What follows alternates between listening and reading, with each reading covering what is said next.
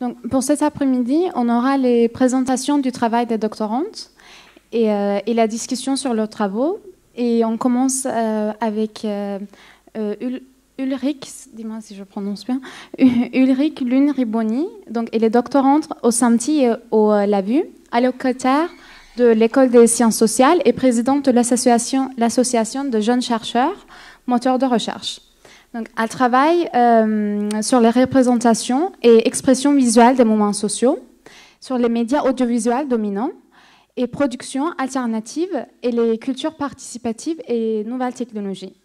Donc aujourd'hui, elle va intervenir sous le titre de Usage citoyen et militant de la vidéo numérique dans la Tunisie en révolution. Merci. Alors, euh, je voudrais juste, euh, par rapport un peu à ce qui a été dit ce matin et, peut-être en général, une des questions que finalement on pose euh, sur l'éthique et les mobilisations, ce serait euh, comment est-ce que l'éthique reflète les formes d'engagement, les dynamiques de pouvoir, les processus organisationnels, ou comment est-ce que les répertoires d'action, les formes d'engagement sont modifiés par l'éthique J'ai l'impression qu'il y a un peu ces doubles questions.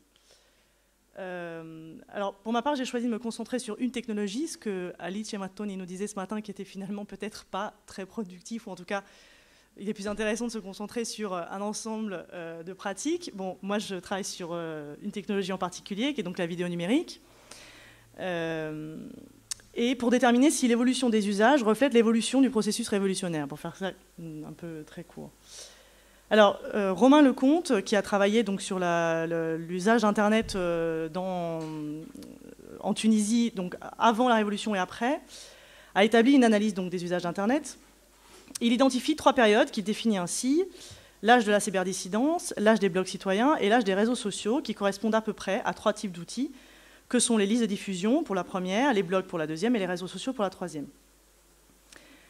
Alors, vous allez voir que moi, je ne peux pas établir ce genre de chronologie linéaire, je vais, je vais y revenir. Simplement un point peut-être euh, euh, pour commencer, qui est cette citation de Manovitch que, que j'ai trouvée assez intéressante dans mon travail, qui dit donc si l'on considère la taille des collections contemporaines de médias, il est tout simplement impossible de visualiser leur contenu avant même de commencer à formuler des questions et hypothèses, voire de sélectionner des échantillons destinés à une analyse plus pointue. L'impossibilité de visualiser une collection dans son ensemble nous empêche de comparer des séries d'images et de vidéos, de dégager des tendances d'évolution sur une durée ou d'appréhender une partie de la collection au regard de l'ensemble. Alors, Manovitch, lui, cherche des solutions technologiques pour visualiser les collections, donc il invente une série de, euh, solutions technologiques. Pour ma part, j'ai donc euh, pas ces outils sous la main, euh, j'ai donc établi un corpus que j'ai ensuite tenté d'hierarchiser sur la base de récurrences et de motifs. Donc je vais y revenir. Alors mon corpus, est composé euh, de un peu moins de 400 vidéos qui donnent à voir des situations de contestation et ou des prises de parole politiques sur le temps long euh, du contexte révolutionnaire ou du processus révolutionnaire, que je fais commencer à 2008 avec le soulèvement du bassin minier euh, donc, dans le sud de la Tunisie, jusqu'à peu près aujourd'hui. Alors, il y a euh, plusieurs types de vidéos que moi j'ai choisi d'inclure dans mon corpus, qui sont donc les suivantes. Des plans séquences. Alors, les plans séquences, que j'appelais le plan séquence, c'est les enregistrements sans construction d'une narration nécessitant un travail de sélection et d'élaboration. Donc, ça veut dire qu'il n'y a pas de démarche artistique, pas de montage, que la narration est interne. C'est des objets qui durent de quelques secondes à plusieurs minutes et qui sont généralement mis en ligne dans leur intégralité, chose qui est assez in- intéressante. Ensuite, il y a une deuxième catégorie qui serait les montages ou plans séquences faisant l'objet d'une mise en scène, c'est-à-dire des productions construites qui nécessitent un temps long d'élaboration. Parmi celles-ci, on a, moi j'ai sélectionné euh, des. Alors là, j'ai essayé de trouver des, termes pour euh, définir ces objets. Des vidéotracts, spots ou communiqués vidéo. Euh, alors, vidéotract, images servant un discours, pour faire simple. Spots également, mais qui sont euh, pas forcément montés avec du texte, mais très souvent avec de la musique. Et les communiqués vidéo, donc ça c'est des termes qu'emploient euh, les Tunisiens en particulier, c'est plutôt des outils de communication d'organisations ou d'individus euh, qui se définissent comme militants. Ensuite, dans vidéoblog, il y aurait deux types euh, de vidéoblog. Vidéoblog classique, euh, qu'on dirait d'opinion, entre guillemets, qui est face caméra, voilà, que le vidéoblog qu'on connaît. Et des vidéoblogs qui consistent plutôt à filmer un objet sur la durée, comme par exemple son quartier ou sa ville. Des objets très différents, mais que je réunis sous le vocable de vidéoblog. Et ensuite, des vidéoclips, alors, qui sont des vidéoclips de rap, qui ont la particularité de participer de processus de mobilisation, et pas que, mais je ne vais pas m'étendre sur cet objet-là aujourd'hui. Alors quand je dis qu'il n'y a pas d'histoire linéaire des formes, c'est que, euh, par exemple, si les formes de type vidéoblog étaient quasiment inexistantes euh, avant 2011, pour ce qui est des plans séquences, par exemple, non montés, ils continuent d'être produits aujourd'hui, et donc en fait, une forme ne remplace pas l'autre. Donc on ne peut pas dire, voilà, avant il y a les plans séquences, ensuite il y a les vidéoblogs, et il y a une évolution euh, des formes et des outils. Euh, quand on observe les productions sous le prisme euh, des productions militantes ou activistes, par contre, on peut déceler une évolution qui est assez nette et qui dépend finalement sensiblement de la professionnalisation alors, des outils, évidemment l'évolution des outils, hein, très simplement, et aussi des carrières militantes. Voilà. Alors, ma première question face à ce corpus, ça a été des questions qui, étaient très simples, qui étaient que filme-t-on, que partage-t-on, quels sont les registres ou fonctions de ces vidéos, et quelles vidéos ou types de représentation émergent. Et donc enfin, euh, comment l'usage de la vidéo reflète et ou modifie les répertoires d'action et les formes d'engagement. Alors moi j'ai identifié à peu près trois grandes fonctions ou registres euh, d'usage de, ces vidéos, qui sont la première, la mobilisation, c'est-à-dire donc des vidéos qui visent à soutenir la mobilisation ou à susciter l'engagement. La deuxième, c'est la visibilité. C'est des productions qui cherchent à rendre visibles des luttes marginales, donc en dehors du moment, insurrectionnel que sont les semaines de janvier de 2011, hein, ou des groupes sociaux marginalisés. Et enfin, euh, des vidéos qui servent des processus de construction ou d'affirmation identitaire, soit individuels, soit de groupe. Alors, ce qu'il faut euh, bien penser, c'est que ces catégories, pardon, ne sont pas excluantes. C'est-à-dire qu'on trouve des productions militantes sous forme de plans séquences ou de vidéotracts, des plans séquences qui servent autant à la mobilisation que des processus de construction identitaire. Et enfin, les formes mêmes de ces objets sont hybrides, puisqu'on retrouve des extraits de vidéos en plan séquence dans des contenus montés, tels que les vidéoclips ou les vidéotracts. Je ne sais pas si vous me suivez, mais voilà. Euh, alors, aujourd'hui, je vais essayer de vous présenter un de, ces actes et un, de ce type d'objets. Donc, je me suis concentrée sur peut-être ce qui est le plus compliqué, c'est-à-dire euh, les contenus non montés donc les plans séquences qui sont souvent peu étudiés parce qu'ils posent un certain nombre de problèmes, en particulier le problème de l'intention qu'on n'a pas dans d'autres productions puisqu'on a des montages et donc des choix qui sont visibles et qui sont possibles qu'on peut analyser. Euh, dans les plans séquences, les, choix euh, auxquels on a affaire, les seuls choix qu'on peut identifier, c'est des choix de cadrage et des choix de situation. Mais bon, avec ça, on arrive quand même à, déceler un certain nombre de choses. Alors, euh, Première chose qu'on remarque, c'est la nécessité de filmer. Alors, on, parle d'environ des dizaines de milliers de vidéos qui ont été produites euh, pendant donc fin 2010 et les premières, euh, le premier mois de 2011. Donc, je ne peux pas fournir de chiffres précis parce que je n'ai pas les outils pour le faire. En tout cas, euh, de manière générale, je, peux l'évaluer, je pense, à des dizaines de milliers, mais je ne peux pas donner de chiffres précis. Alors, la nécessité de filmer, pas seulement dictée par l'importance de faire savoir, et ça, c'est quelque chose qui est assez important, parce que d'autres sont là pour le faire c'est un élément qu'on remarque assez rapidement, c'est-à-dire que dans le champ euh, de ce qu'on filme, il y a toujours d'autres personnes qui filment. La nécessité est donc celle de posséder sa propre image ou sa propre représentation de ce qui a lieu. Premier élément. Il y a donc différents registres. Euh, ces registres-là, ça découle aussi de discussions que j'ai pu avoir euh, dans les entretiens avec des Tunisiens. Il y a bien sûr celui d'informer, qui est un premier élément. Il y a aussi celui de faire histoire, selon les termes qui ont été employés c'est-à-dire de garder des traces de l'événement historique, donc là on est plutôt dans une conception de l'image relique, se réapproprier la représentation confisquée jusqu'alors de soi-même et des autres, et c'est bien sûr aussi un outil de mobilisation. Encore une fois, ces différents registres se superposent et ne font pas des catégories. Il n'y a pas des vidéos qui sont pour informer et des vidéos qui sont euh, pour, euh, pour faire histoire, par exemple. Ces registres-là se superposent. Autre élément, la nécessité de partager. On ne peut pas penser ces objets-là euh, en dehors de leur mise en ligne puisque ces objets sont destinés quasiment tous à être mis en ligne, ou en tout cas à être partagés. Partager, c'est quoi? C'est mettre en ligne, bien sûr, et c'est relayer ce qui a été mis en ligne. Alors là encore, il est difficile d'évaluer le nombre de mises en ligne par rapport au nombre de productions. Euh, donc moi, j'ai pu, comme ça confronter euh, l'ordinateur de quelqu'un par rapport à ce qu'il avait choisi de mettre en ligne, mais en tout cas, quand je pose la question, généralement, ils me disent, moi, je mets tout en ligne. Donc le processus de sélection est quasiment absent, en tout cas, euh, très souvent, dans, dans ce qu'ils déclarent, en tout cas.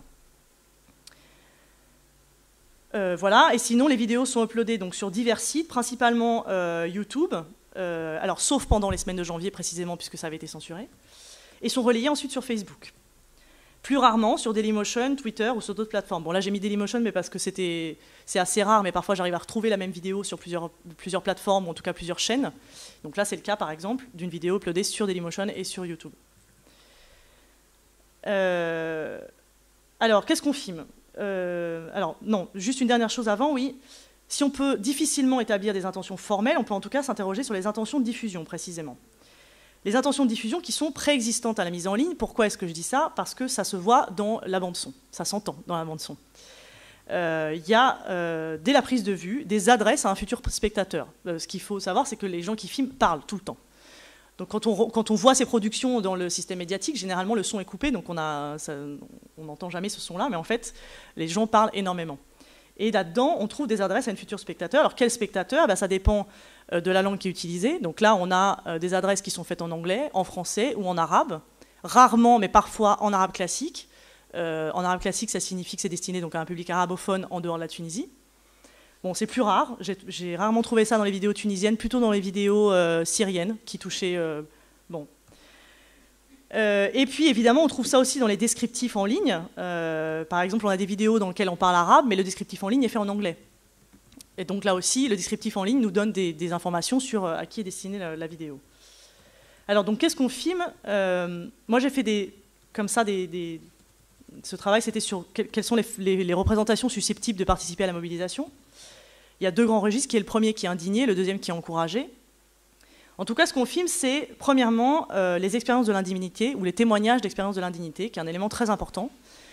Euh, c'est-à-dire donc des, gens qui témoignent face caméra euh, de, la quotidienneté, de la violence de la quotidienneté, donc dans la période pré-soulèvement ou en tout cas dans ces semaines-là.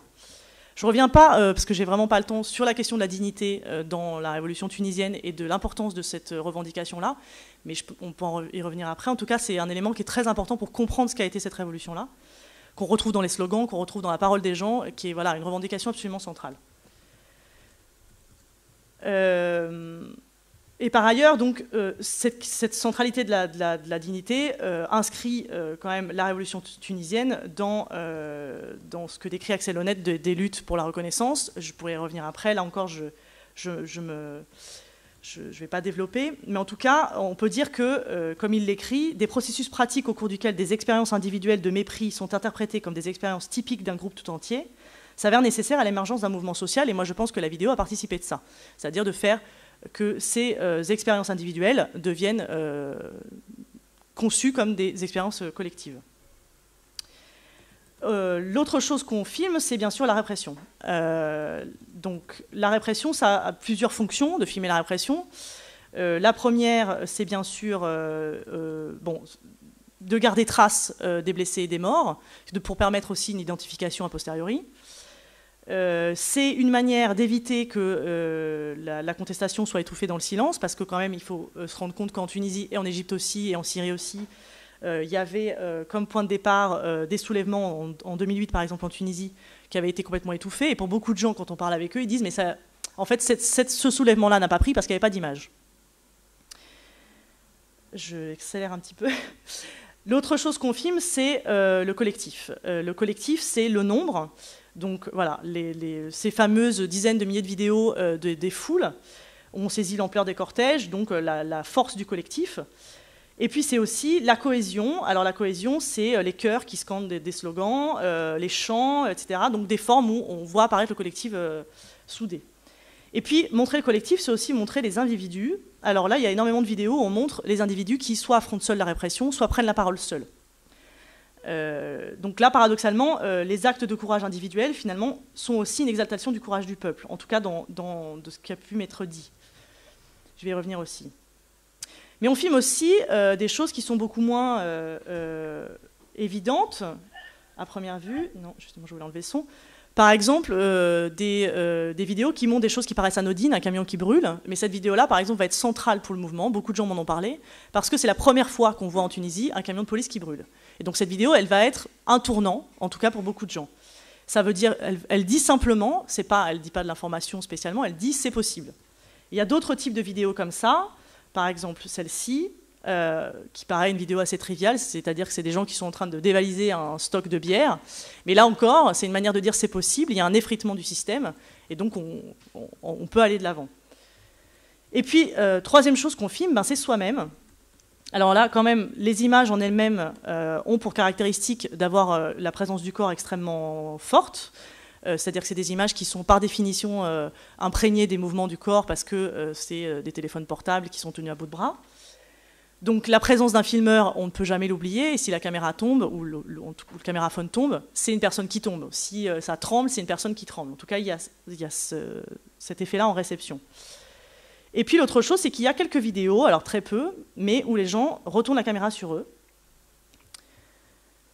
Alors là, on est loin de ce que peut être le selfie euh, dans le monde occidental, dans le sens où euh, on n'est ni dans la solennisation réciproque des personnages du d'accord tel que l'avait décrit Pierre Bourdieu pour la, photographie touristique. Mais pour une vidéo qui sera diffusée par la suite anonymement, c'est l'occasion de laisser une signature et un moyen de revendiquer la prise de risque en affirmant ainsi Je me montre à visage découvert et je n'ai plus peur. Le geste est donc destiné aux concitoyens et enjoint à être rejoint. Donc là, j'en avais une autre, bon, je passe. Euh, par ailleurs, la mise en image de soi est une forme d'engagement relativement nouvelle qui s'apparente à une sorte de forme pétitionnaire où montrer son visage serait comme laisser sa signature. Euh, le geste est bien sûr plus chargé de conséquences qu'uniquement mettre sa signature sur une pétition. Bon. Et le fait même de filmer s'apparente euh, également, et de mettre en ligne, à une participation qui poursuit la participation physique à l'événement et qui contribue ainsi à redéfinir les limites de l'engagement entre le réel et le virtuel. Donc, choses qu'on a déjà dites, mais qui sont assez importantes. Alors, quel type, de représentation ou vidéo émerge? Euh, Pas celle produite par des individus identifiés comme activistes ou blogueurs, en tout cas, ça c'est certain. Euh, les vidéos les plus visionnées et partagées sont souvent celles qui ont un fort potentiel émotionnel. Et on peut dire également que les processus d'iconisation ou d'héroïsation qui sont le propre des médias traditionnels n'ont pas cours dans les productions vidéo. Bien que le courage individuel soit exalté, comme je vous l'ai montré, il s'incarne rarement dans un individu en particulier. Bon, c'est également le propre de l'image animée, c'est-à-dire que les processus d'iconisation et d'héroïsation, passent quand même par l'image fixe et rarement par l'image animée. Ceci dit, euh, une capture d'écran est vite arrivée. Là, voilà, ça c'était le mouvement iranien, avec cette fameuse vidéo d'une jeune fille euh, qui a été, dont on a enregistré la mort, et la capture d'écran, donc la vidéo est devenue une image fixe, euh, a produit ensuite un processus d'iconisation sur, donc, sur cette jeune femme qui s'appelait donc Neda. Et par contre, on trouve des processus de ce genre-là, c'est-à-dire des vidéos qui vont inclure des photographies. Donc là, comme c'est le cas ici, avec euh, la photographie euh, d'un personnage récurrent, en tout cas de la mobilisation de 2008, et qui inclut dans énormément de vidéos qui, exaltent ce mouvement-là. voilà, je conclus. donc, comment est-ce que les représentations reflètent les formes d'engagement ou le type de mobilisation? Première chose qu'on peut dire, c'est que euh, donc, ça reflète l'engagement individualisé, c'est-à-dire qu'il y a euh, que les productions sont des productions individuelles et que quelque chose qu'on remarque, que moi j'ai remarqué très vite, il n'y a pas de groupe euh, de, de, groupes vidéo ou de groupes qui, qui, sont destinés uniquement à la production vidéo, par exemple, c'est totalement absent. en tout cas en Tunisie, il y a un groupe qui existe en Égypte qui s'appelle Mossérine, mais c'est le seul. Et donc moi j'ai cherché énormément, je n'en ai pas trouvé. Donc première chose, en tout cas, cette production-là n'est jamais une production collective. Ensuite, c'est euh, évidemment, ça reflète un engagement différencié entre anonymat et exposition, euh, entre des pages qui sont destinées uniquement à ce type de contenu et d'autres qui ont plusieurs, euh, types de contenu. bon, voilà, là c'est plutôt sur la part mise en ligne. Ça reflète aussi le refus de figure de leader, qui, est, répété régulièrement aussi dans les entretiens. Et ça reflète le fondement euh, profondément, euh, le fondement émotionnel, si je peux dire fondement émotionnel, ça ne veut pas dire grand-chose, mais en tout cas euh, que la question émotionnelle a été centrale dans le soulèvement tunisien, et ça se reflète en tout cas dans la production vidéo. par ailleurs, ces représentations s'appuient autant sur le sentiment de révolte, donc face à la misère ou à la violence, que sur l'identification positive, l'expression de courage et la cohésion. bon, là je pas cette question. Et donc, deuxième question, comment les répertoires d'action sont modifiés par l'usage de la technologie vidéo? Alors là, je ne vous en ai pas parlé, mais euh, on a le développement d'actions pour l'image, c'est-à-dire que c'est des actions qui sont euh, faites dans l'espace public, mais avec un très très faible euh, impact dans l'espace public, mais qui par contre sont documentées et sont mises en ligne, chose qu'on voit de plus en plus dans, dans, de nombreux mouvements également. Et donc voilà, on pense des actions uniquement pour les mettre ensuite, pour les filmer et pour les mettre en ligne. Ensuite, ça, influe aussi sur la constitution, des collectifs. Alors, constitution d'un collectif, plutôt des opérations de se nommer. Pourquoi? Parce qu'il euh, y a un certain nombre de vidéos qui ont été produites par alors plutôt les activistes, euh, qui, à un moment donné, euh, se posaient la question de comment est-ce qu'ils signaient les vidéos, parce qu'ils faisaient cette production de communiqués vidéo, etc. Et donc, parce qu'ils faisaient cette production, il a fallu trouver un nom, et donc se constituer en collectif d'une certaine manière.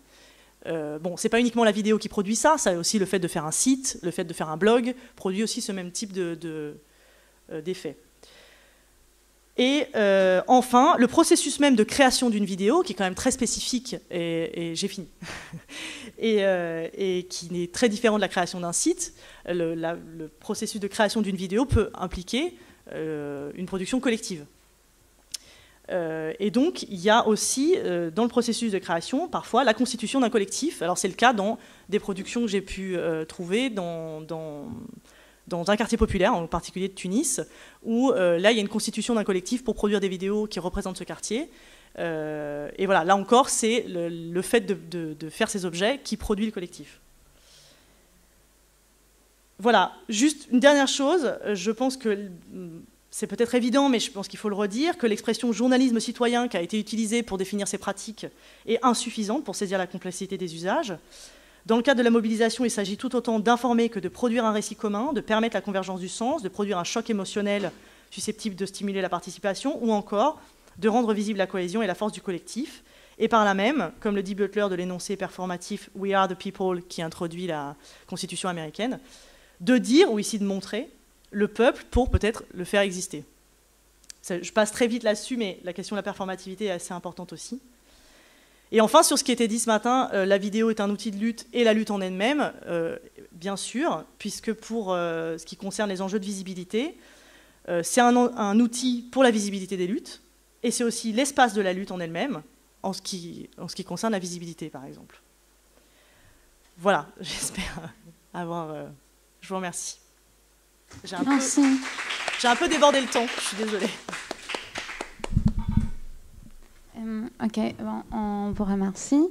Et là, on va voir la présentation de Natalia Calderon-Batran.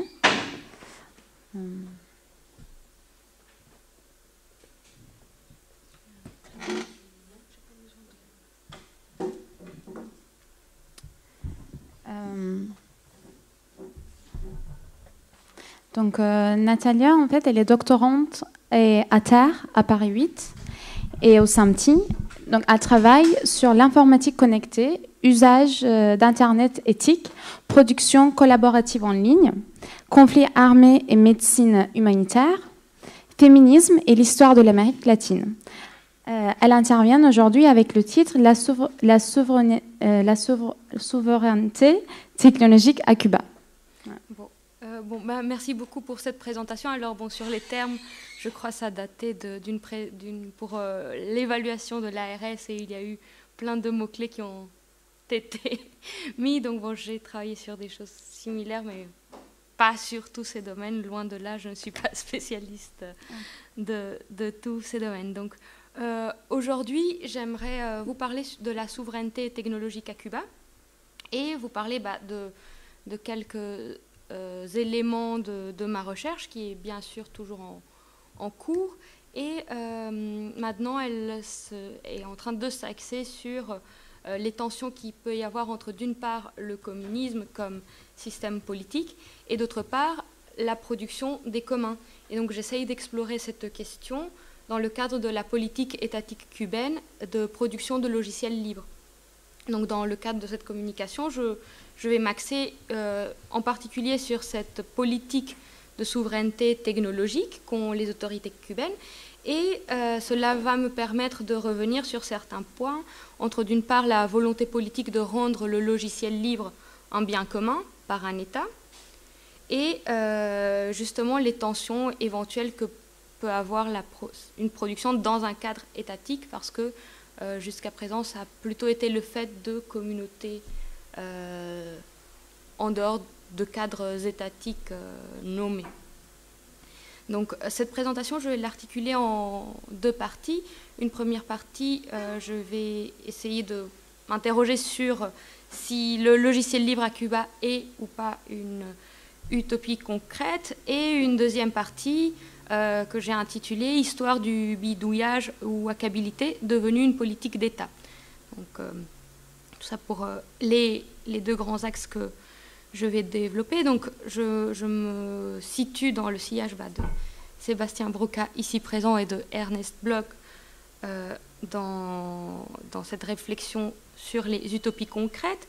Et euh, avec eux, je considère que le logiciel libre est non seulement un programme informatique dans le code est libre, consultable, modifiable, redistribuable, pardon, mais euh, je l'étends aussi à un mouvement plus large, euh, un mouvement politique beaucoup plus large, qui peut être celui de l'utopie concrète. Et donc pour le caractériser, Sébastien Broca a décrit trois, trois dimensions que j'ai essayé de voir comment elle pouvait ou pas s'appliquer au cadre euh, euh, cubain. Donc la première dimension est celle de la critique, qui fait, je le cite, ressortir des aspects du monde social qui sont d'autant plus inacceptables qu'ils ne sont pas irrémédiables. Donc dans le cadre cubain, il s'agit de ce discours que vous avez peut-être, euh, que vous connaissez peut-être, celui d'un discours contre l'impérialisme des États-Unis, donc c'est un cadre qui est rémédiable dans la mesure où bah, l'actualité nous rattrape et donc on, pourrait par exemple arrêter le blocus. Et donc il y a, il y a une critique de, ce blocus économique sur Cuba.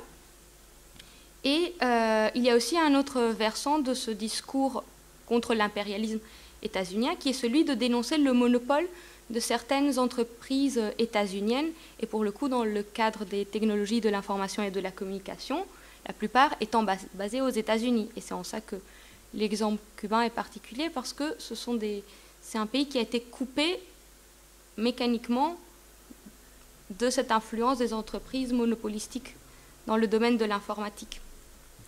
La deuxième caractéristique, alors je le cite à nouveau, en tant qu'ensemble de pratiques, elle s'incarne dans des actions et des mouvements. Alors, dans le cadre cubain, il s'agit d'une. Cette politique de la souveraineté technologique se traduit par euh, plusieurs choses. Alors, d'une part, une utilisation conséquente et fréquente de logiciels libres dans l'administration, euh, dans la création depuis la fin des années 80 de ce qu'ils ont appelé Hohen Club. Alors, ça équivaut dans le contexte français à des sortes de centres aérés pour la jeunesse et les enfants pour apprendre l'utilisation des logiciels. Donc, on apprend euh, simplement à, se servir d'ordinateur. On apprend également à coder et on apprend aussi à réparer des machines.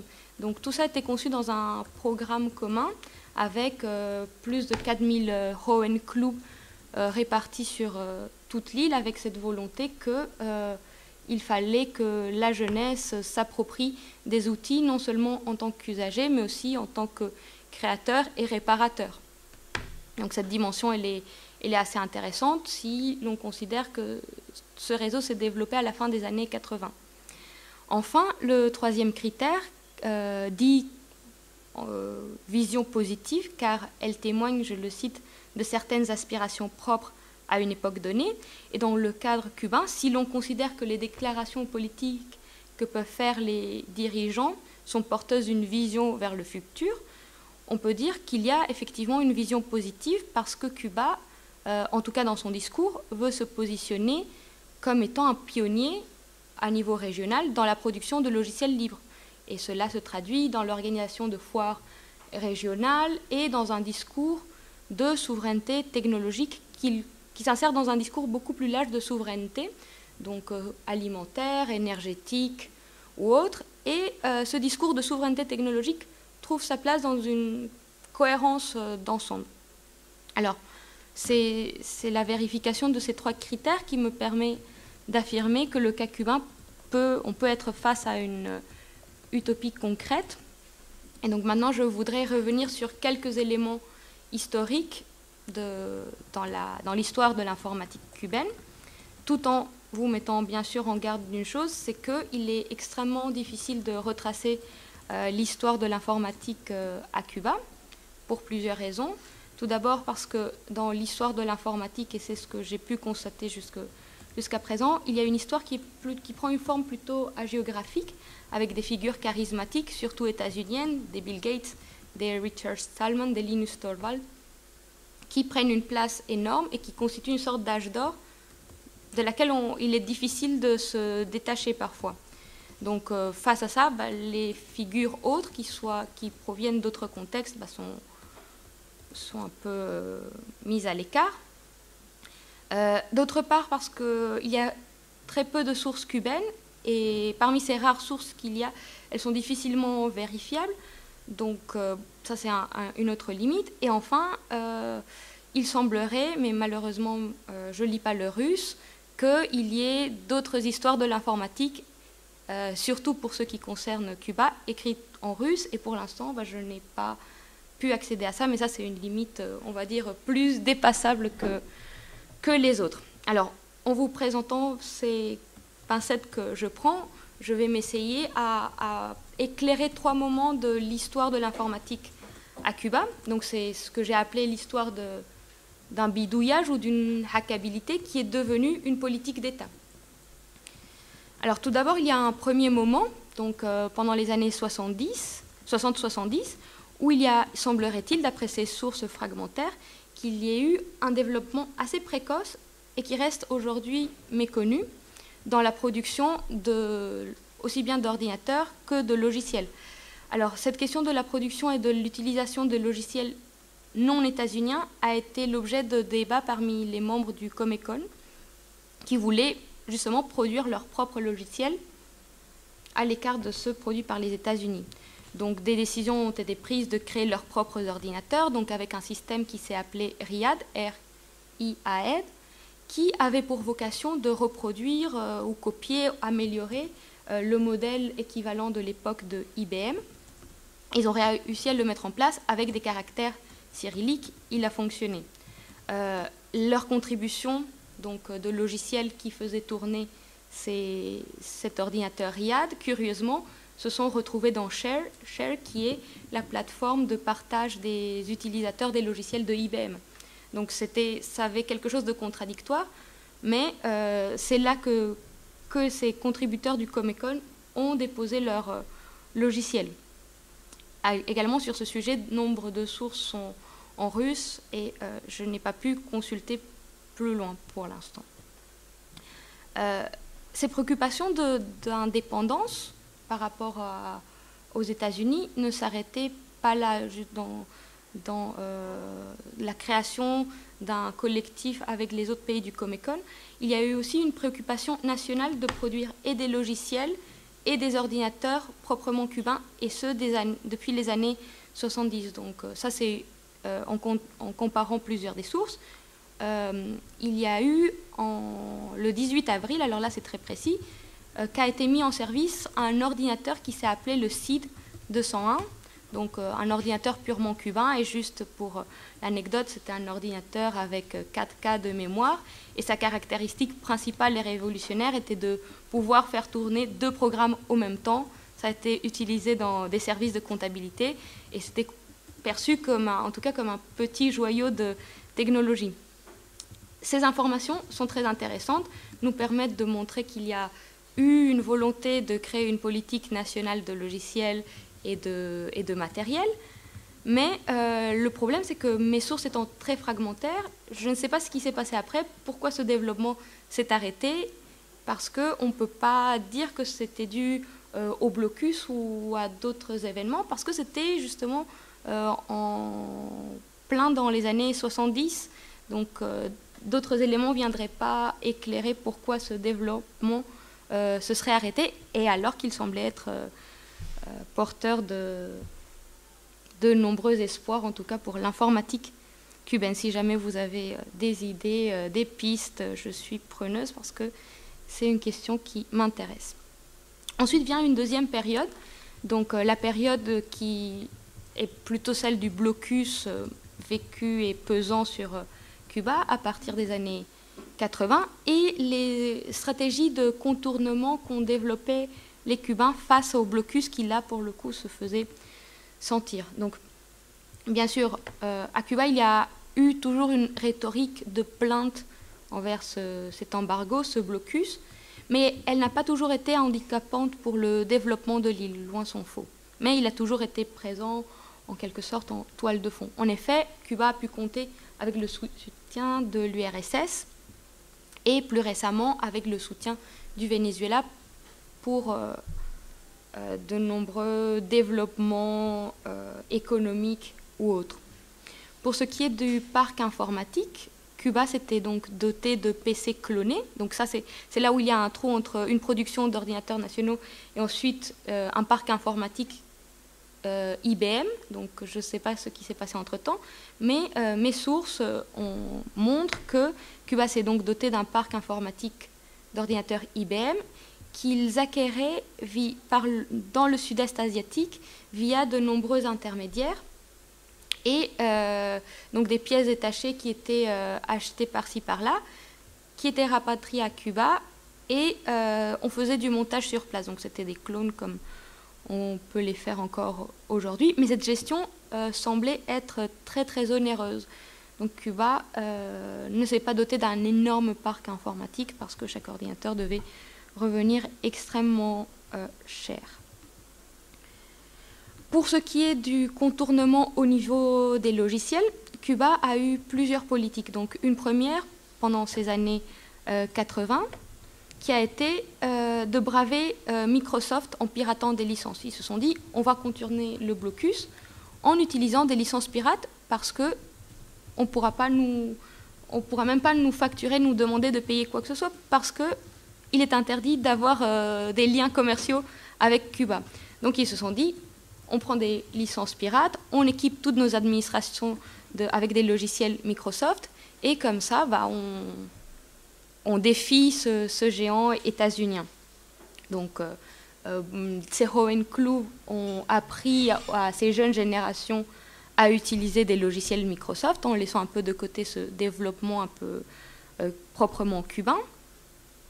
Et euh, ces stratégies, elle n'a pas, été quand dire, elle, s'est essoufflée au moment où euh, des développeurs cubains ont voulu créer des logiciels d'imagerie euh, médicale qui fonctionnaient que sur des ordinateurs tournant sous Microsoft et ils n'ont pas pu les commercialiser. Donc apparemment, on m'a raconté une anecdote.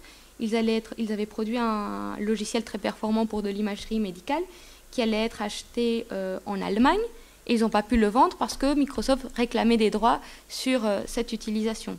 Donc euh, cette politique de, boycott en bravant Microsoft avec des licences euh, pirates s'est montrée inefficace quand on a voulu commercialiser les produits de cette informatique développée sur des versions pirates de Microsoft.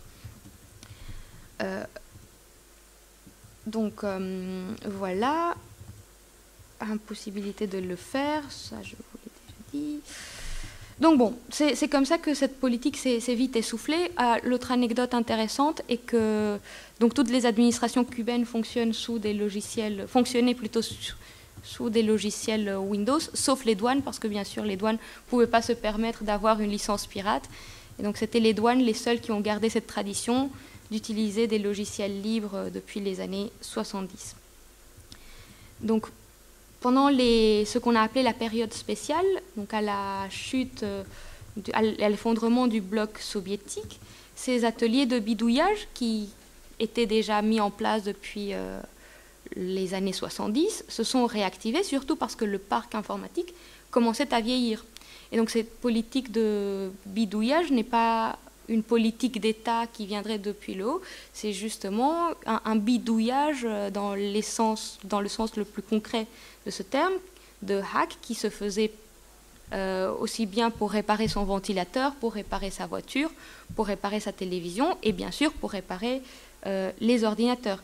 Et ce qui est intéressant de voir, c'est que cette culture du, bidouillage, elle est très propre à Cuba, très caractéristique, et se détache un peu du, du bidouillage des hackers occidentaux, entre guillemets, parce qu'il n'y a pas ce côté d'amusement, il n'y a pas cette volonté de liberté et d'émancipation.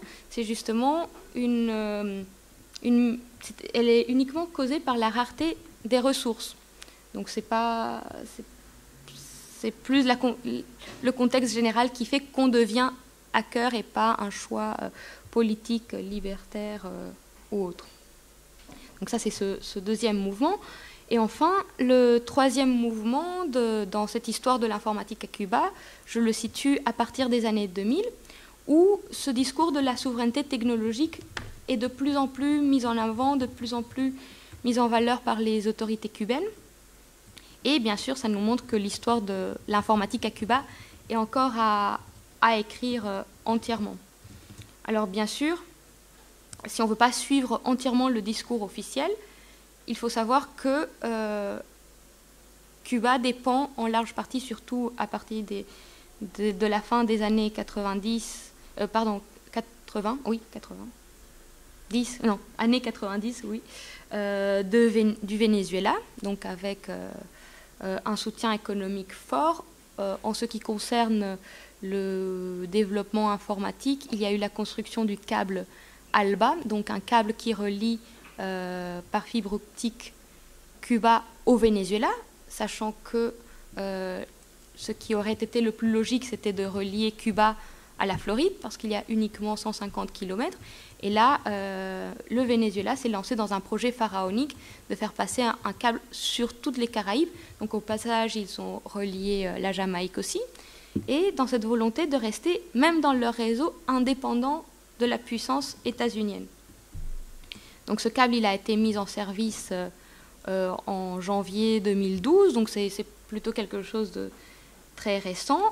Et euh, rétrospectivement, les autorités cubaines n'hésitaient pas à brandir ce discours de la souveraineté technologique face à toutes ces industries dites impérialistes, sur industries impérialistes ou dites propriétaires à Cuba, impérialistes ou propriétaires s'intègrent dans une même et seule rhétorique contre les États-Unis.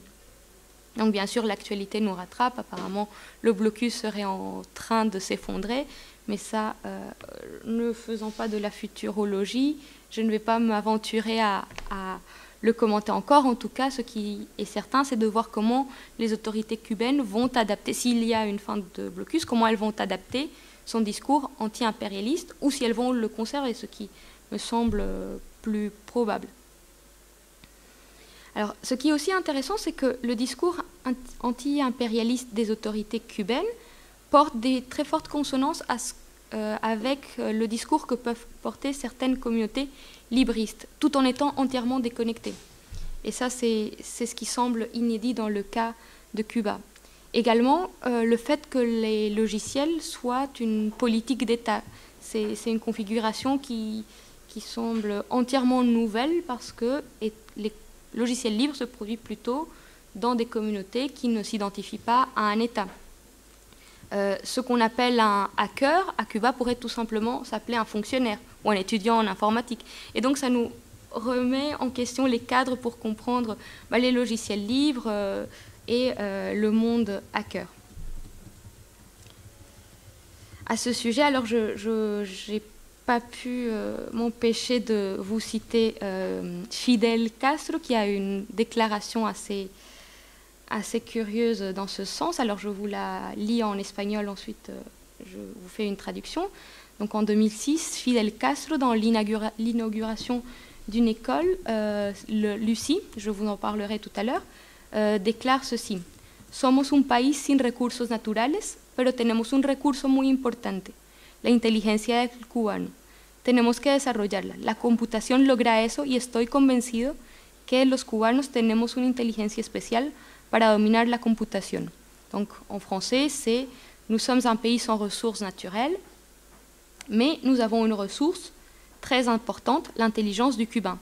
Nous devons la développer. L'informatique permet cela. Je suis convaincu que nous, les Cubains, avons une intelligence particulière pour maîtriser l'informatique.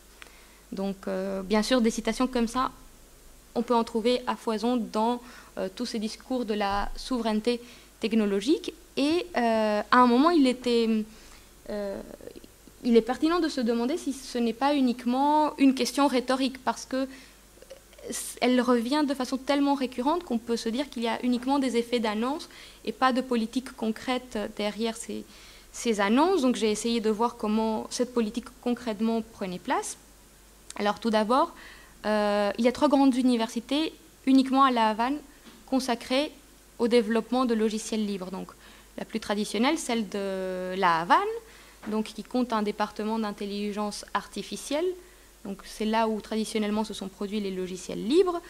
Ensuite, il y a un institut technologique qui s'appelle la Kuhai. C'est une autre université un peu euh, en dehors de, de, la Havane, donc à, à, peu près une heure de route du centre-ville. Et elle se charge de former des techniciens informatiques. Et en 2002, il y a eu une nouvelle inauguration d'un autre centre pour continuer à former des professionnels de l'informatique qui s'est appelé la UCI, Universidad de Ciencias Informáticas. Et donc c'est là où euh, les autorités cubaines ont concentré tout le budget pour le développement informatique. Donc c'est euh, une université qui est proche de la Havane mais complètement inaccessible, donc un campus extrêmement moderne. Alors j'espère pour mon prochain terrain réussir à y accéder. Ça ne devrait pas être impossible, mais ne serait-ce que géographiquement, elle est entièrement excentrée. Il faut avoir des invitations pour pouvoir faire son terrain. Et un des surnoms qu'a cette université, c'est l'école de hackers la plus grande du monde, parce qu'elle compte aujourd'hui 10 000 étudiants. Donc 10 000 étudiants uniquement consacrés à l'étude de, euh, et à la production de logiciels pour euh, l'effet de la révolution. Donc c'est bien dans cette école que euh, se développe, peut-être vous en avez entendu parler, une distribution d'État libre qui s'appelle Nova, donc basée sur euh, Ubuntu. Et sa caractéristique la plus principale, mais bon là j'entre un peu dans les détails, est de faire tourner du matériel à très faible performance, donc entièrement adapté au parc informatique cubain. De ce que j'ai vu dans des forums de discussion, ce serait un logiciel libre mais euh, le code est difficilement accessible. Donc, euh, bon, euh, je pense qu'il doit être trouvable. Voyons comment se développent les choses à Cuba. Si on connaît le, responsable du projet, on arrive avec une clé USB, on doit pouvoir la récupérer. Mais que je sache, il n'est pas encore en ligne accessible, accessible à tous comme le sont les logiciels libres, on va dire, traditionnels ou classiques. Donc il est bien sûr difficile d'écrire cette histoire du fait de ces sources fragmentaires, du fait de l'éloignement de ce terrain, mais en tout cas, euh, il y a une politique, un discours sur la souveraineté technologique qui s'accompagne de faits très concrets pour produire concrètement des logiciels libres. Alors je vais euh, conclure maintenant. Donc cet exemple cubain euh, semble être unique. si peut-être vous avez d'autres exemples qui, peuvent se rapprocher, j'aimerais le savoir, mais pour l'instant, il me semble être euh, assez unique parce qu'il semblerait que Cuba soit le seul État à avoir fait du logiciel libre une politique d'État. Bien sûr, tout cela ne s'est pas fait dans, dans une idée d'avoir une politique visionnaire dès les années 70. Euh, elle a été aussi le fruit d'empêchements pour l'acquisition du matériel, pour vendre leur logiciel. Et euh, ces circonstances-là ont poussé les Cubains à un bidouillage technique et juridique. Aujourd'hui, bien sûr, ils peuvent avoir une lecture rétrospective en présentant une souveraineté technologique euh, qui, aurait été là à peu près depuis le début de la Révolution. Peut-être que l'histoire nous est un peu enjolivée. Mais ça, c'est, ça fait partie aussi de l'écriture d'une histoire quand ce sont les acteurs qu'il écrivent. Enfin, euh, ce qui m'a intéressé, mais je vous l'ai déjà dit, c'est que l'exemple cubain interroge nos cadres de pensée habituels. Par exemple, comment peut-on définir un logiciel libre? Comment peut-on définir ce qu'est un hacker? Euh, Ce que je vous disais par rapport euh, au, fait qu'un hacker à Cuba peut être un fonctionnaire. Ce qu'on appelle aujourd'hui un Fab Lab, bah, c'est n'importe quelle salle d'informatique à Cuba. Donc il n'y a pas ces labels qui semblent tellement nouveaux. Et pourtant, la réalité, elle est quand même là, très présente dans le quotidien de beaucoup de Cubains. Donc cette souveraineté technologique à Cuba peut nous sembler en quelque sorte euh, fragmentaire. Euh, je m'interroge aussi sur ce qui a guidé l'abandon de euh, la production nationale de, de, matériel. Et bon, j'espère peut-être à un moment combler ces lacunes. Merci beaucoup pour euh, votre attention.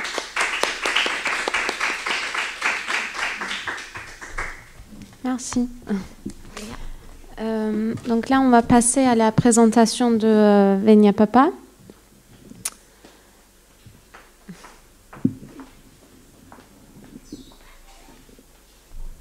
Donc, Venia Papa, elle est doctorante, euh, doctorante en co-tutual à l'Université de technologie euh, de Chypre. Et au SAMTI, elle travaille sur, entre autres, euh, le mouvement des indignés. Elle est également chercheuse en communication politique.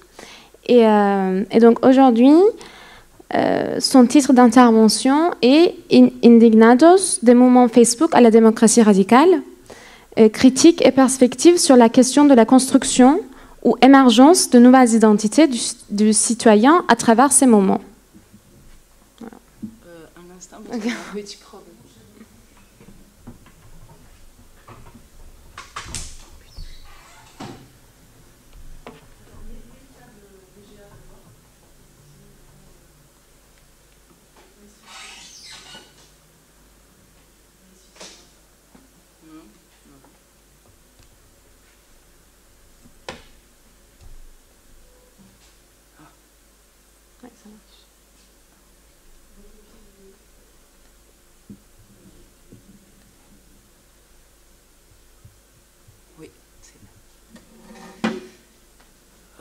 Donc euh, bonjour. Euh, donc euh, aujourd'hui, je vais vous présenter une partie de mon travail parce que je suis en période, en phase de rédaction de mon doctorat. Donc je ne peux pas vous présenter tous mes résultats, mais j'ai choisi une partie. donc le sujet de mon doctorat est surtout l'émergence ou la construction de nouvelles formes d'identité du citoyen et aussi une identité collective et les rôles, si vous voulez, des réseaux sociaux et plus spécialement de euh, Facebook dans ces processus. Euh, spécialement, je suis en train de travailler sur le mouvement des indignés en Grèce et en France. Euh, dans un, si vous voulez, dans un niveau beaucoup plus macro, euh, cette question nous permettra de saisir les rôles de ces mouvements sociaux dans les processus euh, d'un éventuel changement social et politique. Et nous permettra aussi de discuter ou donner quelques pistes à la fin de ce travail, quelques pistes de réflexion sur des éventuels rapports entre démocratie d'un côté, mouvements sociaux et éthique de l'autre côté dans notre euh, dans nos sociétés d'aujourd'hui. Alors, euh, le départ euh, de ma réflexion est assez banal, disons. disons que j'ai une formation de sciences politiques à la base, donc ma réflexion, ça part, c'est plutôt, j'ai cette influence-là, donc évidemment on observe et il y a beaucoup de discussions dans la littérature en sciences politiques de la baisse de la baisse de la participation des citoyens aux activités politiques telles que les votes, les élections, mais aussi leur implication dans les organisations, dans les associations politiques. Euh, euh, une, une, baisse de participation qui se traduit aussi dans des intérêts et cynisme des citoyens envers le parti politique. On a beaucoup d'exemples des des dernières élections qui montre qu'il euh, y a beaucoup, de, beaucoup euh, moins de, monde qui, qui vote. Et de l'autre côté, il y a quelque chose de paradoxal, euh, surtout dans le pays où moi je travaille, c'est une assez quand même une grande participation, si vous voulez, dans des mouvements sociaux tels qui sont apparus en 2011, surtout le mouvement des indignés. Cette euh, discussion aussi, ça met en valeur, si vous voulez, beaucoup de chercheurs ont parlé du rôle, de l'importance euh, des nouvelles technologies, surtout des réseaux sociaux, Facebook et Twitter, dans ces processus. Évidemment, il y a toujours euh, ce, débat entre les cyber-optimistes et les cyber-pessimistes. Donc, d'un côté, la valorisation de, euh, de l'outil de, de l'outil qui est Internet dans ces processus politiques. Et de l'autre côté la critique est-ce que finalement ces, ces outils ces, ces, outils technologiques peuvent, peuvent nous amener à une euh, participation plus importante des citoyens dans le processus démocratique euh, de l'autre côté, quelques, hum, quelques changements en termes d'action collective qui ne sont pas nouveaux euh, quand même. Euh, on ne peut pas parler de nouveaux mouvements sociaux, mais quand même quelques pistes de réflexion qui sont données par les chercheurs euh, de sciences de l'information et des communications, surtout Euh, d'un côté que euh, les limites de l'action collective sont beaucoup moins statiques qu'avant, on voit quand même une ouverture, une ouverture euh, sur le pratique, mais aussi sur l'espace.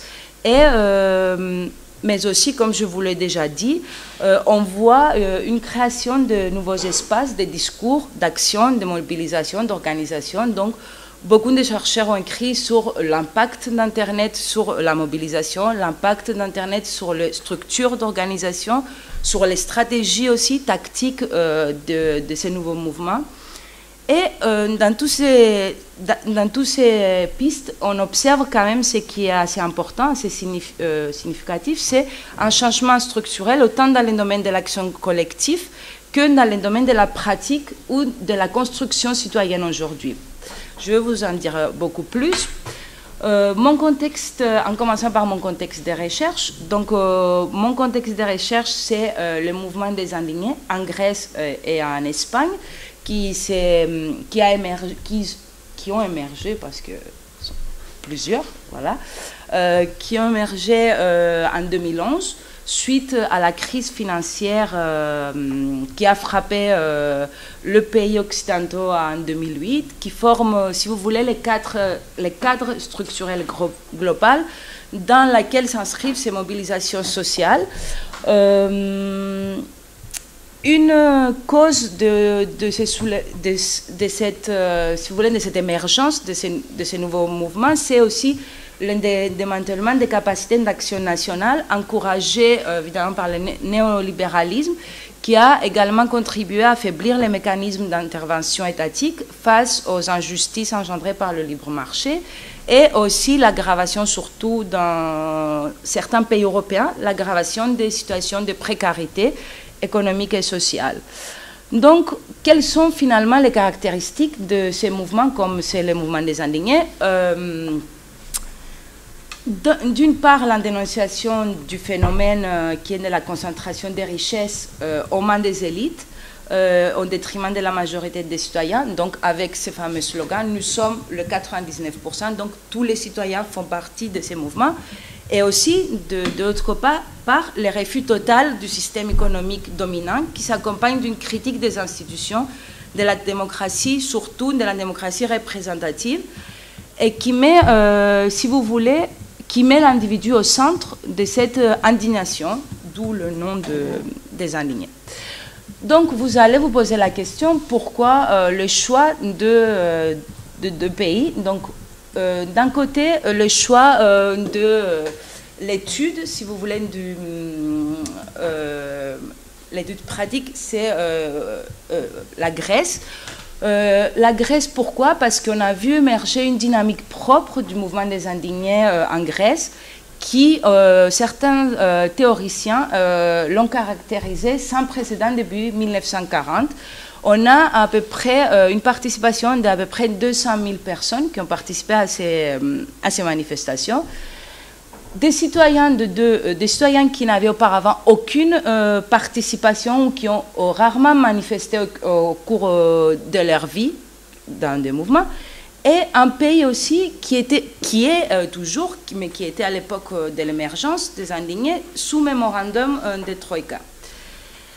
De deux, la France. Pourquoi le choix des indignés français euh, Un cas qui n'a pas été, euh, euh, si vous voulez, recherché ou si vous voulez, un cas qui n'a pas eu d'importance, même dans la littérature des mouvements sociaux, on voit qu'il y a peu d'écrits sur le mouvement des indignés en France pourquoi j'étais d'une part intriguée, j'étais curieuse de découvrir pourquoi euh, ça n'a pas marché. Donc, euh, le, euh, si vous voulez, le, la découverte et la compréhension de cet échec, et aussi d'un pays qui a quand même une tradition très significative en termes de mouvements sociaux, on voit que finalement les indignés n'ont pas marché.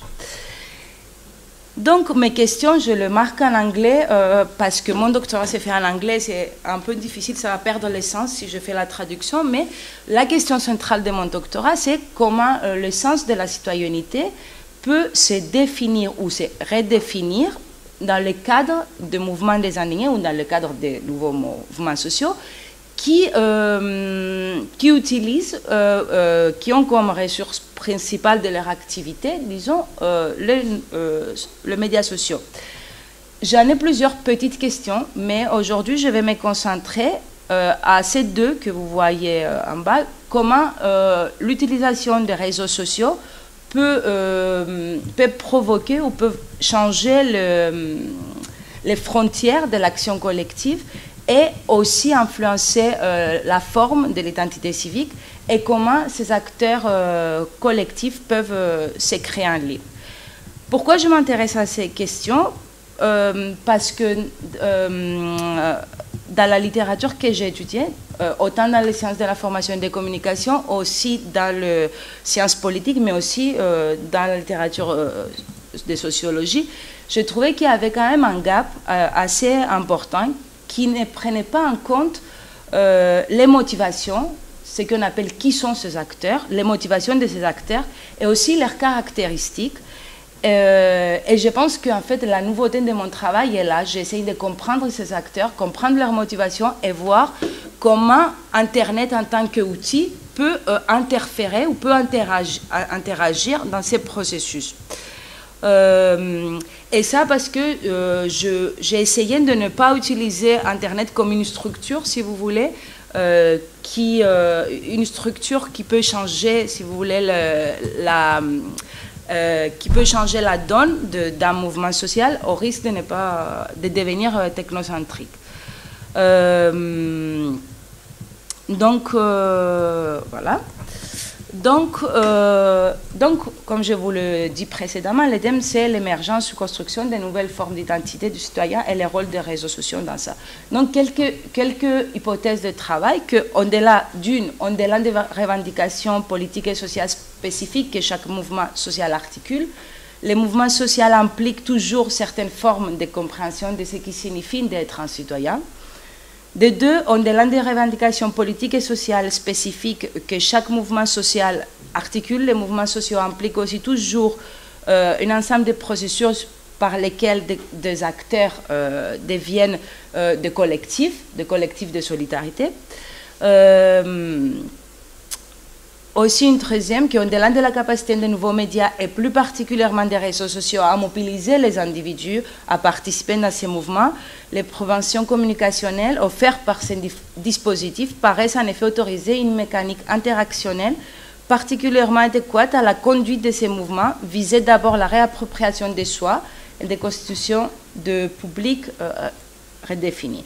Donc, hypothèse claire, la citoyenneté peut être euh, comme source de participation dans les mouvements sociaux, la citoyenneté comme un cadre, si vous voulez, prédominant dans euh, euh, de l'action dans les mouvements sociaux. Des trois, les mouvements sociaux comme espace de transformation d'identité, du citoyen. Et des quatre, l'identité collective qui peut se construire à travers les réseaux peut être un cadre prédominant d'action du citoyen. Donc, mon cadre théorique, euh, donc, d'un côté, l'identité civique, que c'est discuté longuement dans les études de citoyenneté, donc, qui a quand même, euh, qui est inspiré par euh, la science politique, mais aussi par un mouvement plus culturel dont des auteurs comme Dahlgren, Svensson, plus des pays scandinaves, qui ont parlé de, cette notion de citoyenneté donc qui parlent, euh, qui disent qu'en fait il y a quatre composants, quatre dimensions, si vous voulez, quatre axes pour pouvoir euh, aller euh, chercher le, terme de citoyenneté. Décidément, le sens de l'adhésion, la participation, l'engagement, les pratiques de ces personnes, de ces citoyens, et aussi les valeurs, les valeurs démocratiques. Quelles sont les valeurs démocratiques qui sont promues à travers cette entité? Des deux, l'identité collective, un cadre qui provient de la sociologie, notamment de Alberto Melucci, euh, qui parle de la création de l'identité collective. Donc, euh, trois euh, points. Le sentiment d'abord d'appartenance dans les mouvements, les nous, comment les nous se créent dans ces mouvements. Les motivations et les formes d'action, comment se construit l'intergroupe et comment se positionne par rapport à l'ennemi, si on peut l'appeler et la formation de la conscience commune du groupe euh, à travers les discours de ces acteurs. Donc, et un troisième, le mélange, si vous voulez, des trois identités collectives, identités civiques et, et médias sociaux. Euh, donc, on a ici le cadre théorique, si vous voulez, qui peut nous guider de Connective Action, de Bennett et Sengerberg, qui ont parlé déjà de la création et qui ont essayé d'analyser comment cette identité collective s'est créée dans ces nouveaux mouvements, euh, notamment à travers les mouvements des indignés et les mouvements euh, Occupy. Donc, voilà. Donc, j'ai essayé, si vous voulez, à partir de là, de créer mon propre cadre théorique, d'un côté pour l'identité civique et de l'autre côté pour euh, l'identité collective. Donc, euh, le sens de l'affiliation, si vous voulez, l'adhérence, qui répond à qui Qui sont ces personnes qui participent à, ces mouvements Des deux, quels sont how euh, Ça veut dire les pratiques de ces acteurs. Et des trois, pourquoi quel, quel, est le sentiment qui les pousse à à participer dans ces mouvements. Donc, quelque chose qui manquait dans la littérature, c'était cette séparation entre les motivations, mais les sentiments des individus et aussi les actions. Donc, je fais une. Euh, ça, c'est vraiment très simple parce que si je rentre vraiment dans mon analyse, ça va être très difficile à suivre. Donc, on a d'un côté euh, le côté tangible, ça veut dire euh, le, le, côté tangible, par exemple les actions, les actions que les acteurs nomment, et aussi euh, le côté euh, ideational, ce qu'on appelle euh, en anglais. Donc les motivations, qu'est-ce qui les pousse à participer? Cette distinction a été prise par euh, qui parle, Simone Glandermans, qui fait la même distinction. Donc, euh, je vous montrerai à la fin la même chose pour euh, l'analyse collective, euh, le, cadre, si vous voulez, que j'ai monté à travers 4D. Ici, il faut dire que, vu que je suis entre trois disciplines, c'était très difficile de prendre des outils déjà, déjà préfaits. Donc, je préférais créer à travers, à travers ces trois disciplines un outil à moi. Donc, la méthodologie de mon doctorat, donc, euh, euh, donc 60 euh, entretiens avec des participants en Grèce et, aussi en France, donc 30 personnes en France et 30 en Grèce, des individus participant au mouvement des indignés et des individus participant au groupe des indignés sur Facebook. Et aussi 6500 données, des posts qui ont été pris par les groupes Facebook euh, de chaque pays. Donc il y a eu une classification, donc on a à peu près, euh, on arrive à 40 groupes Facebook grecs et euh, une trentaine de groupes Facebook en France. Évidemment, je ne pourrais pas prendre toutes les dates de tous les événements des de, de, indignés, donc je fais une présélection par rapport aux événements majeurs de chaque pays. Euh, donc je constitue un tableau et euh, j'allais sur Facebook chercher des dates euh, spécifiques par événement. Donc comment je procède? C'est avec l'analyse thématique du contenu pour analyser mes données. Mes entretiens a été bon. mon travail a été, au fur et à mesure, a été évolué. Ça veut dire que moi, mon objectif, c'était de plus de chercher ce qui apporte de nouveau le, mouvement en ligne. Mais euh, les entretiens ont apporté des nouveautés, donc je suis amenée en fait à la fin aussi à comparer les hors ligne et les en, ligne parce que chaque fois les deux, euh, à travers ces entretiens, s'est mélangé beaucoup. Donc il fallait faire une distinction. Donc j'ai décidé d'utiliser mes entretiens pour répondre à ma question de l'identité civique et de l'identité collective et hors ligne et euh, euh, prendre mes posts Facebook et analyser vraiment qu'est-ce qui se passe en ligne euh, et comment peuvent se construire l'identité civique et l'identité collective. donc, je commence par, par le sens de l'adhésion. comment les acteurs, ils se sentent, comment les acteurs, ils, ils, ils, appartiennent au mouvement.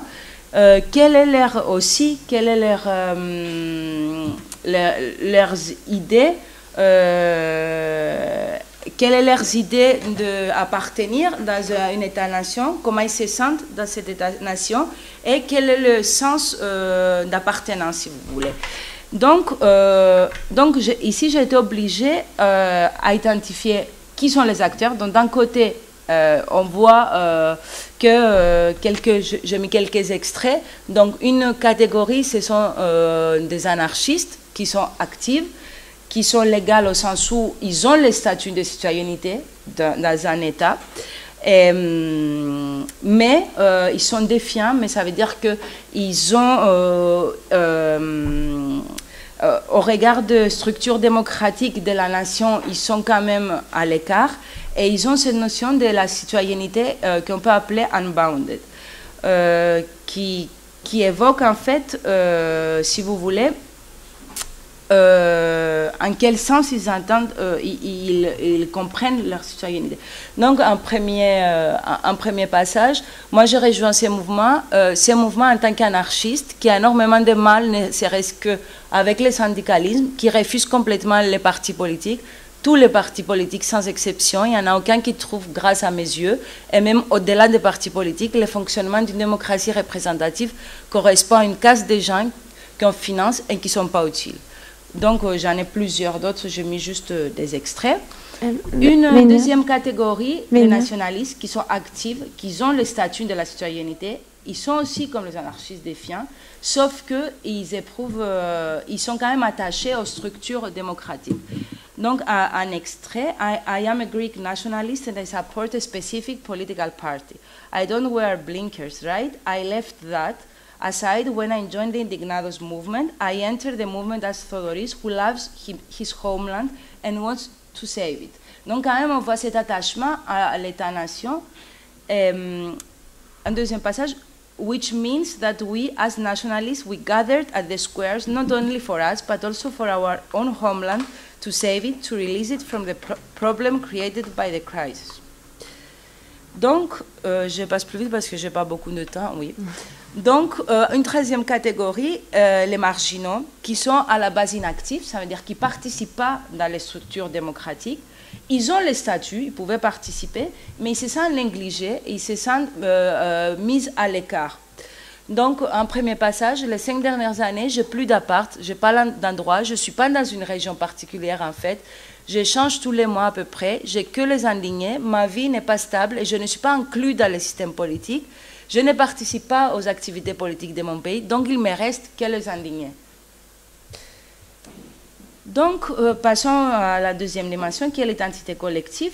On voit qu'il y a quand même un, un as, comme on dit nous, que on voit que les acteurs s'identifient à travers la non-identification politique.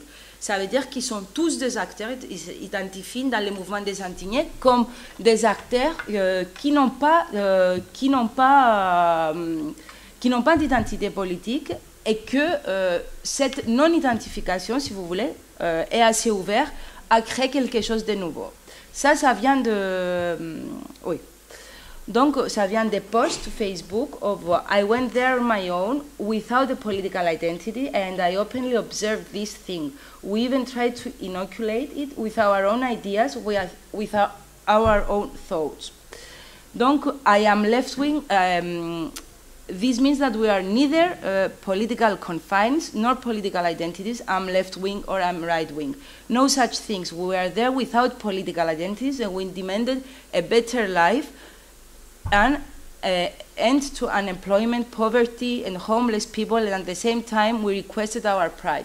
Donc, on voit quelque chose qui se crée en nous, qui se crée à travers, non pas euh, de similarité, si vous voulez, ou de caractéristiques communes politiques, mais plus à travers les conditions sociales, donc euh, comme la pauvreté ou encore euh, l'effet euh, du chômage, qui poussent ces individus vers l'indignation. Euh, un autre un point qui émerge de notre analyse, c'est euh, nous sommes de simples citoyens euh, français et grecs, il utilise ces mots, comme encore une fois sans identité politique, mais qui sont contre les élites politiques et qui sont contre le parti politique. Et quelques extraits. Simple citoyen, la République est en danger, attaquée par le requin de la finance et accueillie par les néofascistes. Si elle est attaquée, nous le sommes aussi, nous, ses enfants, défendons-le. Et ainsi de suite. Donc on voit cette création, si vous voulez, de la notion de nous, des citoyens. Nous, des citoyens grecs. Nous, les citoyens français, on n'a pas euh, l'identité politique. Donc, euh, un à travers les discours aussi, on voit euh, la construction de, euh, de, de, de, des acteurs politiques comme, comme notre ennemi principal. The enemies are our Freemason politicians and their Freemason lodges, the police, the anarchists, the fascists and the citizens belonging to political parties. Donc ici, ils se positionnent par rapport à leurs ennemis, les nous et les eux.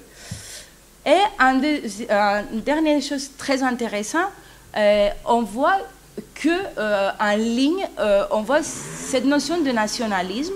Euh, moi, je l'appelle nationalist digital enclaves. Ça veut dire qu'ils s'enferment contre la Troïka et l'Union européenne.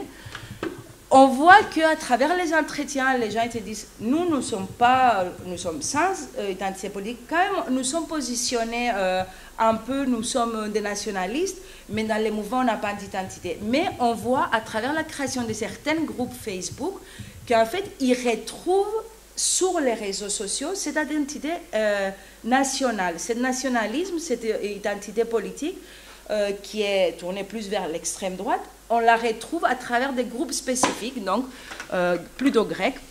We brought civilization to this world. We will take it back from the Troika and consensus. We are Greek and proud for loving our country. Et ça, c'est le plus soft. Il y en a encore de plus violents, comme le dernier, qui montre à quel point ils se retrouvent en fait euh, sur les réseaux. Donc, quelques conclusions très rapides, vous pouvez les lire, euh, euh, qui ne sont pas encore abouties. Je suis en train de rédiger la thèse, donc je pense qu'au fur et à mesure, je, je, serai beaucoup plus précise et, en termes d'analyse. Mais, mais déjà, de, ce que je vous ai montré, on voit que d'une part, l'identité du citoyen peut euh, être comme catégorie constitutive d'une identité globale qui, en fait, qui unit les sujets malgré les différences dans les identités politiques. Donc ici, on peut parler des sujets subjects, rebel subjects. L'identité civique est vécue comme un projet inachevé et devient l'identité du mouvement pour combler les vides, les vides de l'identité politique. De trois, l'absence même de l'identité civique réelle et efficace en termes d'efficacité politique et le manque de participation dans les processus démocratiques et les structures de l'État-nation devient le motif pour les citoyens négligés de se joindre au mouvement. Et de quatre, l'identité des sujets nationalistes constitue la force motrice de rejoindre le mouvement et d'acquérir euh, l'identité du mouvement par leur exclusion dans la sphère publique, qui est dans le cas de de, de nationalistes qui se sentent exclus de la sphère politique. Donc, ils se retrouvent euh, sur euh, les réseaux sociaux. Voilà. Voilà, il, y a beaucoup, beaucoup d'autres éléments, mais il n'y a pas assez de temps, donc je vais m'arrêter là. Euh, voilà, merci beaucoup.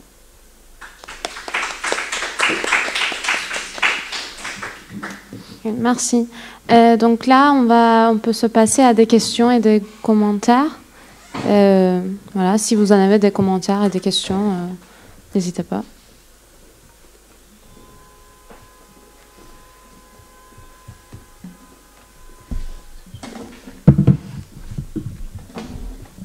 Pardon. Oui, oui, oui, pardon.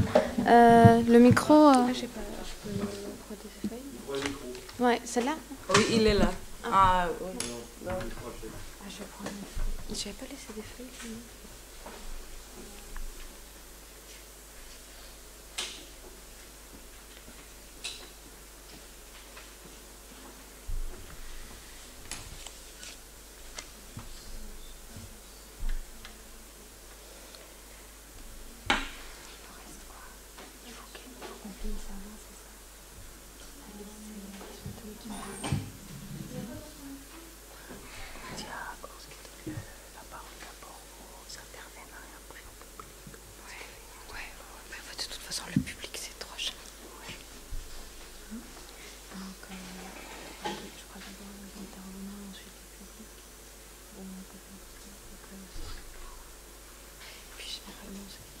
les intervenants qui prennent la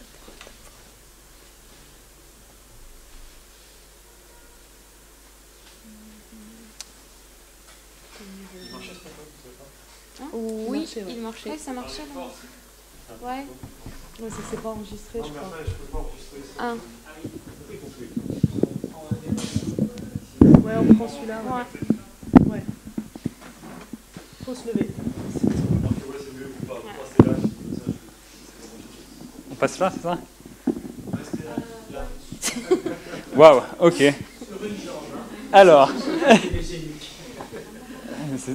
C'est super anxiogène comme euh, dispositif. Bon, alors, ben, non, mais merci beaucoup pour vos trois euh, interventions qui étaient très super intéressantes. je crois que j'avais des questions pour chacune d'entre vous. Alors, c'est Ulrike, ça? Ouais. ma question, c'était sur. Euh, donc, du coup, j'ai pas mes notes, faut que j'en souvienne. Tu as dit qu'il y avait donc une double dimension des technologies, la dimension de reflet et la dimension de modification. Et je me demandais quelle, euh, est-ce que tu avais des références théoriques euh, là-dessus? Et moi, ça m'a fait penser, euh, ça peut faire penser à plein de choses, mais par exemple à la conception de la, technique chez Castoriadis, la technique comme instituée et instituante. il me semblait que c'était un peu ça que tu avais en vue, cette double dimension de la technique. Donc voilà, je me demandais si tu avais des références théoriques là-dessus. Ensuite, j'avais des questions pour Natalia, qui était... oui, déjà, j'avais des suggestions de lecture, mais que tu connais peut-être déjà. la première, c'est le que j'ai pas lu, mais je pense qui est intéressant, c'est le, livre sur le projet CyberSyn en, au Chili. C'était une sorte de projet euh, sous Allende de, voir un système cybernétique euh, socialiste. Et donc il y a une, euh, universitaire américaine qui a, qui a, étudié ça, qui s'appelle Eden Medina, et qui a écrit donc un projet, qui a écrit tout un livre là-dessus. Et le projet s'appelle CyberSyn. Et récemment, il y a Yevgeny Morozov qui a fait aussi un papier dans le New Yorker là-dessus. Et on l'a justement accusé d'avoir plagié le livre de, de Eden Medina, sans le dire. Mais en tout cas, je pense que la comparaison entre ce projet, donc CyberSyn chilien, et ce qui s'est passé à Cuba peut être éventuellement intéressante. Et l'autre chose, mais ça c'est Tristan Matlar qui en parlerait mieux que moi, c'est quand tu parlais de la culture euh, hacker euh, du bidouillage, où finalement on fait un peu de nécessité euh, vertu, ça m'a fait penser à l'article de Laurence Liang sur le piratage. Il me semble que c'était un peu les mêmes, les mêmes logiques, mais bon, ça je, je, je vous laisse en parler, mais je pense que c'est aussi une référence qui peut être intéressante. Et, euh, sinon, et plus une question, sinon c'était sur le. Finalement, est-ce que du coup on pourrait parler, à propos de l'exemple cubain, de, commun étatique? Parce que c'est quand même, ça, paraît être un peu, un peu étrange, un peu original. Enfin, tu as, tu as insisté là-dessus, et surtout par rapport au logiciel libre, où c'est quand même comment ce qu'on fait à partir d'un contrat de droit privé, est-ce qu'on crée du commun? Et donc là, est-ce qu'il peut y avoir une source étatique du commun, étant donné qu'on pense en général les communs dans une distance par rapport à l'État et par rapport au marché Donc est-ce que c'est -ce que c'est une contradiction dans les termes ou est-ce que tu accepterais de parler de commun étatique ah. Et puis, et puis j'avais. Euh, et puis peut-être une dernière question pour euh, Venetia, c'était parce que tu n'as pas eu le temps d'en dire un mot, c'est sur la comparaison entre tes deux terrains. En fait, qu'est-ce qui est, par exemple, l'aspect nationaliste avait l'air plus fort euh, sur l'exemple grec, si je ne m'abuse. Donc, quelles sont les différences entre les deux, entre tes deux terrains? Voilà. Je retourne m'asseoir. D'autres questions, commentaires? Oui, non?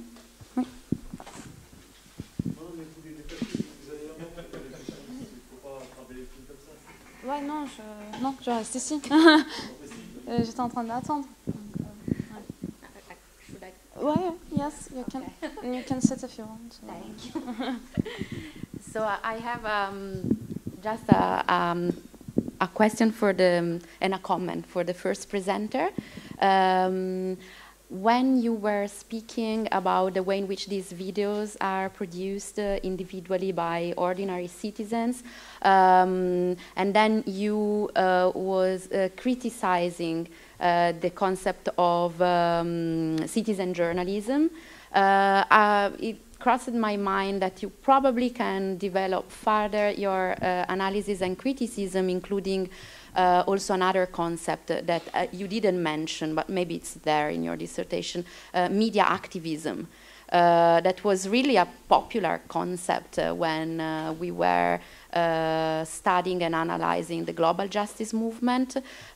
today, it seems to lose terrain because of the emergence of this kind of, you know, social, you know, the matches between the combination between social media platforms and portable mobile uh, technological devices like smartphones and so on that allows really ordinary people to to, to produce uh, videos and engage in the video production. So um, I was wondering which kind of empowerment uh, that was typical of media activism uh, do you have when you have this kind of media production?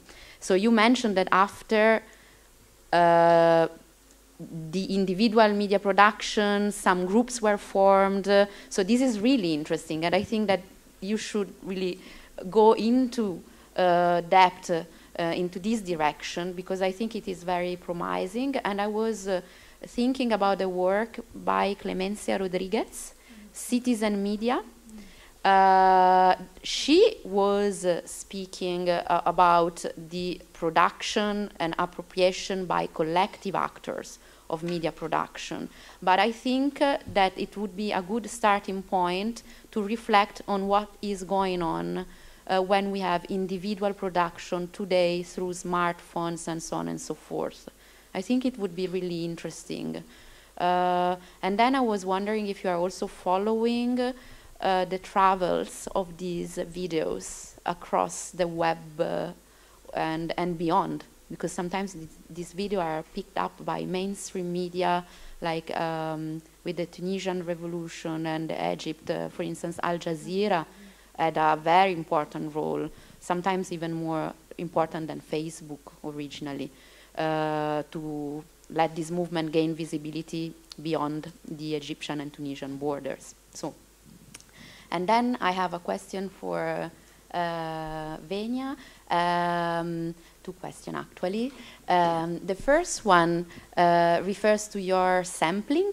Um, you select, you, you mentioned participants in general, but I was wondering which kind of participants are they, since uh, Anastasia also made uh, a difference between uh, individual participants, so different levels of participation are possible in these movements. So it would be good to know uh, if you interviewed uh, participants uh, who belong to already existing activist group or not, social movement organization or not, or they were there as individual. Uh, I had the impression that some of your interviewees were just there as individuals, but maybe I'm wrong. So, and if you did this sampling, if you were able to have uh, not a statistical uh, representative because I think it's impossible because when we study social movements, we don't know the size uh, of the universe, so we cannot have a population that is representative from the statistical point of view, uh, but more or less, you know, a complete picture of uh, those who were in the squares. And the second remark is related to uh, your use of the label new social movements. So I was wondering why are you using this label that we know that is related also to a theoretical tradition, Melucci, you mentioned Melucci, then Turenne here in France, uh, Klaus Offe and, and, and so on. Uh, so um, why do you, would you consider also the indignados as a kind of new social movements? Because they are really different from the new social movements that emerged in the 60s and the 70s, uh, that were middle class movements uh, that were different from the previous ones that were based on strict class divisions. Well, then in the 60s and the 70s, we have more identity movements, and it's not by chance that. Uh, new social movement theories really focus on identity and collective identities, no? Uh, but here, what do we have here when we speak about the indignados? So it's uh, uh, the sociology of uh, the people that were in the squares. Um, from anecdotal evidence, it seems that they were not just middle class, uh, that you have beyond the middle class. You have precarious workers, but in some cases you have also migrants. Um, you have people who belongs to the so-called, if still exists, working class, uh, and so on. Uh, so I'm curious just about your justification uh, about using the new social movement label. Thank you.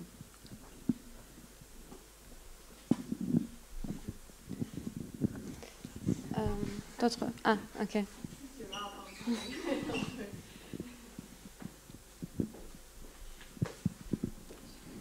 Okay, I'll, I'll stay here as well. It's better. um, so thank you for three very interesting presentations. Um, I really have mostly comments rather than. Um, so for Ulrike, as you were talking, I was it made me think of Lenin's theory of the press when you were saying about how uh, video actually creates collectives um, later on.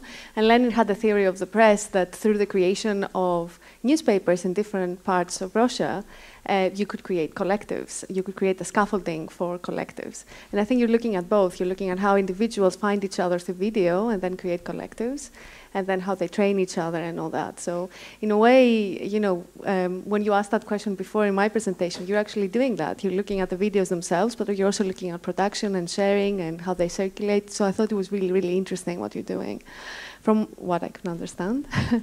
um, and the other thing I wanted to ask is that in, uh, with regards to circulation, whether you have actually noted any um, processes where actually these videos are shown um, in communities like offline? Uh, do they travel offline? Because I know of examples in Egypt where you know people just put a sheet up in uh, you know and that just show these videos. Yeah, like a cinema. Um, so that would be very interesting, I think, to to uh, hear about. Um, for Nathalie, my question was actually preempted by Sebastien. Uh, my question was about the commons and the, the state and uh, and all that, and how do you deal with that? Um, notion. And for Venya, um, I have a, a, couple of questions. Um, I I know that in the end you say, okay, um, you talk about people, you talk about l'absence même de l'identité civique, the absence yes. of civic identity. And I was wondering whether, is it really the absence of civic identity? Is, is that an, a civic identity in itself? The absence of a traditional civic identity that we can easily categorize as anarchist or nationalist or something else. So is that part of the innovation that comes through of the creation of a new identity of the simple Greeks who are just here, us, trying to do something different? Is that another identity that maybe is created and we actually see in Greece at the moment because there are all these other experiments with um, citizen experiments with cooperatives and people offering services to those in need and all that. Maybe that's, that's another identity that cannot be captured by traditional, more traditional categories. Um, and another question that I had was um, in your analysis of the different identities, what difference do the social media make? So I know that these results actually come from your interviews, not mainly. I'm not sure whether they came from the analysis of both. So you know, I couldn't understand where they come from. So what is the difference there with uh, with social media? Do they help create a more expansive identity, interactions between a more diverse sort of group of people, um, or do they simply reflect? Are they mirrors here of you know what is going on? But they that was my question.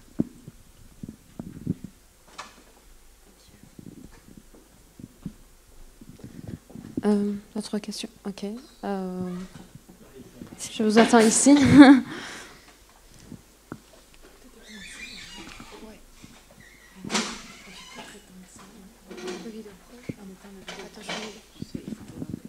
Merci. J'avais, euh, j'avais oui, quelques trois questions à peu près. Merci pour vos présentations. Euh, Natalia, on en a déjà beaucoup parlé, donc euh, pas grand-chose. Juste deux petites suggestions sur, sur l'histoire de l'informatique à, Cuba, pour les parties un peu historiques. Il faudrait sans doute regarder du côté de l'OTAN. Ils ont dû se poser la question. Euh, ils, avaient, euh, ils avaient des équipes qui travaillaient sur, euh, sur ces questions à un moment, dans les années 80-90 en tout cas. et les, politiques, l'enrôlement des hackers dans une politique d'État, je soupçonne que ce n'est pas une spécificité cubaine. Il y a d'autres réalités où, ça se passe. curieusement, le site en anglais d'Al Jazeera en 2003 avait été hacké, euh, donc au moment de l'intervention américaine en Irak. Euh, donc pas sûr que les hackers euh, n'étaient pas complètement étrangers à certaines initiatives publiques. Et la Chine est connue pour, avoir, pour développer une, une politique active en la matière. Et l'actualité nous laisse penser que la même la Corée du Nord euh, aurait. Euh, donc euh, il y a, il y a peut-être là des, pistes. pour, pour Ulrich, j'avais une petite question de méthode. Donc des dizaines de milliers de vidéos, comment est-ce qu'on choisit au sein des dizaines de milliers de, de vidéos? Ça ne doit pas être évident. Et puis une petite question. Donc, euh, tu as dit que les vidéos s'adressaient a priori à des publics différents. il y a celles qui sont en anglais, il y a celles qui sont en français peut-être, celles qui sont en, tunisien, en, arabe tunisien, et celles qui sont en arabe plus littéraire. Donc euh, ça veut dire que lorsque ces vidéos sont filmées, il y a un public en tête. Et donc la question c'est, est-ce que euh, tu as noté des différences en fonction des publics anticipés Je te pose la question parce que j'ai lu récemment une étude fort intéressante d'un collègue américain, Mark Lynch, qui euh, travaille sur les vidéos postées sur la Syrie. Et il montre, euh, il montre que, en fonction du public auquel elle s'adresse, le contenu des vidéos est radicalement différent, radicalement différent. Et, ce qui est inquiétant pour la suite, parce que ça veut dire que celui qui n'étudie que les vidéos en anglais sur la Syrie ne comprend rien à la soi-disant vidéosphère. Donc, euh, donc, euh, donc euh, voilà. Et, et pour Venezia, en t'écoutant, je me suis dit, donc parce que moi j'ai toujours besoin d'essayer de visualiser qu'est-ce que c'est que ce mouvement. Hein, la sociologie tout à l'heure. Donc j'ai bien compris en t'écoutant que c'était impossible d'avoir une idée très claire de, de, de, ce mouvement, mais j'étais quand même frappé par la variété, la diversité des personnes qui composaient ce, mouvement. Euh, depuis euh, l'anarchiste, euh, le revendiquant, jusqu'au nationaliste, le revendiquant. Donc la question qui se pose là, c'est est-ce que mouvement, ce n'est pas une étiquette un peu commode hein?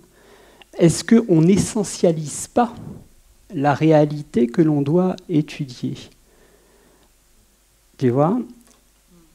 Et alors, le problème, c'est, après, euh, quand, on analyse l'usage des technologies par ce mouvement, il ne peut pas y avoir des usages des technologies par ce mouvement, mais des usages des différents groupes qui composent ce mouvement. Et donc la question, là, elle est, suscitée par le fait que tu as signalé pas moins de 40 ou 30 euh, groupes Facebook, rien que ça, pour, euh, je ne sais plus si c'est la France ou, la Grèce, enfin les deux, hein, les deux, la Grèce, 40 groupes Facebook. Donc ça veut dire que, en fait, euh, j'imagine que certains groupes nationalistes ont leur propre réseau Facebook, D'autres, euh, ayant plus des sympathies euh, socialistes déçues, auront leur propre. Ça, doit s'organiser un peu comme ça. Donc euh, la question, c'est, quand on étudie les usages de ces groupes, de, des, médias ou des, nouvelles technologies par ces groupes, quelles, sont les, différences que l'on voit, voit poindre? Parce que dans la littérature, j'ai parfois l'impression qu'on parle de l'usage que font les, activistes euh, de, de, ces technologies. Or là, si je comprends bien, on ne peut jamais parler des usages. Il faut considérer au moins groupe par groupe, si on veut être un peu, euh, un peu précis. Et on ne, sera, jamais euh, aussi précis que nécessaire, si j'ai bien compris. Merci. Euh, donc, moi aussi, j'ai une question à, Ulkri, en fait. Euh, donc, quand tu parlais, de, par exemple, de la vidéo anonyme, donc en, Istanbul, en fait, en Turquie, pendant les périodes d'élections municipales, il y avait des vidéos anonymes qui étaient mises en YouTube. Et dans ces vidéos, c'était en fait des conversations téléphoniques privées entre le Premier ministre et sa famille. Et en fait, ces conversations euh, étaient la preuve de, la fraude et de blanchiment d'argent, en fait. Et, et, je voudrais savoir, parce que j'avais pensé sur le sujet et je me, disais que peut-être c'était mieux de, mettre un nom sur ces vidéos au lieu, au lieu d'être, au lieu que, qu'elle soit anonyme. Et je me disais si c'est, euh, enfin, si le fait qu'elles sont anonymes, ça implique quoi ou euh, ça change euh, leur dans la réception et aussi dans leur force, dans, ouais, dans leur force en général, en fait. Et voilà. Et sinon, j'avais une autre question aussi à, aux intervenants, en fait. Et juste une petite question. Euh, je pense que je vais la poser en anglais parce que je, l'avais rédigée en anglais. Euh, du coup, euh, en fait, alors, et, there was this local collectives, uh, in fact, in Istanbul after the Gezi movement, and they were especially uh, interesting because they chose uh, these buildings, closed buildings for reunions and and sort and they refused to go um, open space for debates and all that. And after a while, they developed some some code, um, not told, of course, a code untold, that you that um, you cannot enter, for example, the building with. Um, with a Starbucks coffee in your hand, or you know, with clothing like very chic clothing. I mean, it was like a weird thing to do, you know. And I was wondering if um, because you talked about the archi uh, architecture and its meanings and and um, why they choose this um, closed um, uh, building instead of an open space. So, yeah. Okay. Euh, vous avez d'autres questions Non oui. ok. Qu'on doit finir à, dans 20 minutes. Ouais.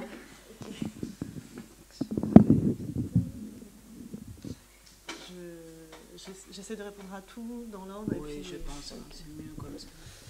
Alors, euh, donc la première question de Sébastien Broca qui était sur d'éventuelles références théoriques euh, sur ce que j'ai dit au départ entre la réf réflexion et modification. En fait, non, pas spécialement. C'était juste, j'ai remarqué que la manière d'aborder euh, la question d'éthique et des mobilisations se divisait un peu en deux questions, m'a semblé qui était celle est-ce que ça nous révèle quelque chose des mouvements ou est-ce que euh, ces objets modifient euh, les pratiques? Et voilà, c'était plutôt comme ça de manière générale, j'avais pas vraiment de. Euh...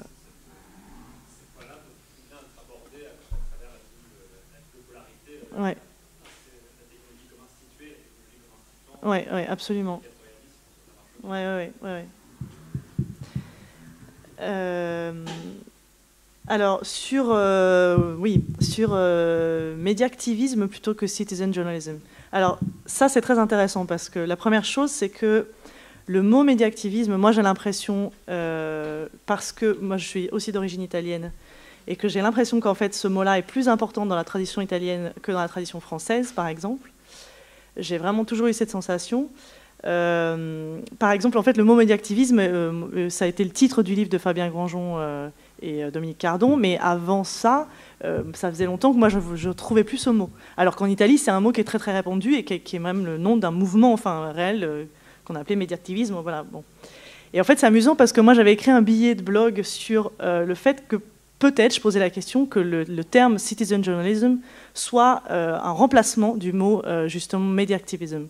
Et moi j'avais l'impression que éventuellement cette transformation sémantique, elle racontait quelque chose parce que justement, d'une certaine manière, c'était une manière de dépolitiser, parce qu'il n'y avait plus le mot activisme dedans, et qu'on remplaçait activisme par citoyen, euh, et qu'on remplaçait média par journalisme. Et donc, euh, effectivement, c'est vraiment, vraiment quelque chose qui m'avait interrogé. Quoi. Et du coup, je ne sais pas si ça convient mieux euh, aux pratiques que moi j'étudie.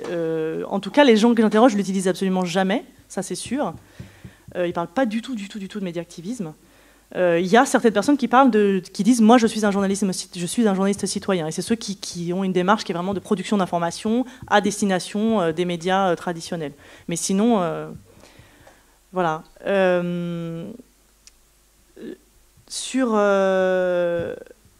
alors sur la question de la circulation et l'appropriation par les médias euh, traditionnels, alors ça, en fait, c'est mon travail de mémoire. Euh, mon travail de mémoire, c'était sur euh, comment est-ce que les médias audiovisuels s'approprient les vidéos qui ont été produites. alors à l'époque, c'était en Iran, donc pendant le mouvement 2009, et et puis en fait, comme j'ai fait mon mémoire au moment où commençait la révolution tunisienne, j'avais aussi regardé comment ils s'appropriaient les images de Tunisie. Euh, et c'est absolument passionnant parce que justement Al Jazeera était la seule chaîne qui avait une politique extrêmement différente dans la diffusion de ces vidéos-là. Parce que pour faire très très rapide, après c'est pas le sujet, mais pour faire très très rapide, en gros, euh, j'avais constaté que les médias euh, français et principalement français, parce que moi j'avais eu accès qu'à ça, j'avais pas eu accès évidemment à, enfin j'avais pu regarder CNN, mais pas aux archives de CNN, mais en tout cas, ces médias-là donc revendiquaient euh, une tradition euh, qui était euh, textuellement, un journaliste m'avait dit, à plus d'un mètre d'un corps mort ou blessé. En gros, on coupe le plan.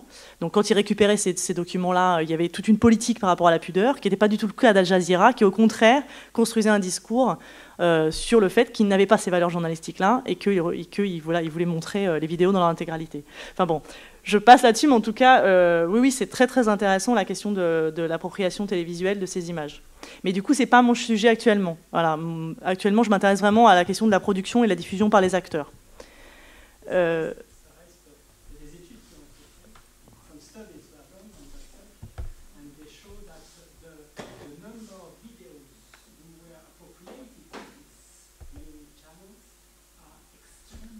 oui, oui, ça aussi, c'est absolument.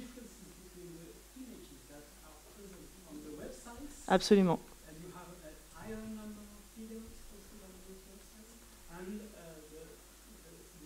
Oui, absolument. Moi, j'avais fait une étude sur, euh, j'avais fait une étude sur une semaine en fait sur France 24 et France 2, et c'était impressionnant. En fait, les deux chaînes utilisaient les mêmes images en plus.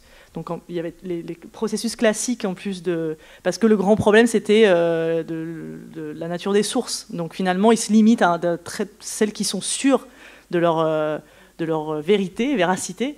Et euh, donc, effectivement, il y a très très peu d'images qui sont utilisées, c'est toujours les mêmes, mais par contre, le choix des images racontait quand même quelque chose sur euh, les lignes éditoriales, euh, vraiment, dans la, représentation qui a été faite. Et de manière générale, en tout cas, on pouvait dire qu'ils évitaient de montrer les, les, images les plus crues et les plus violentes, de toute façon.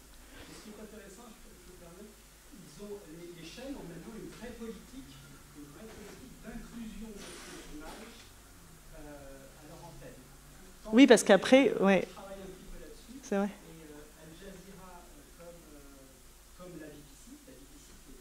Ouais.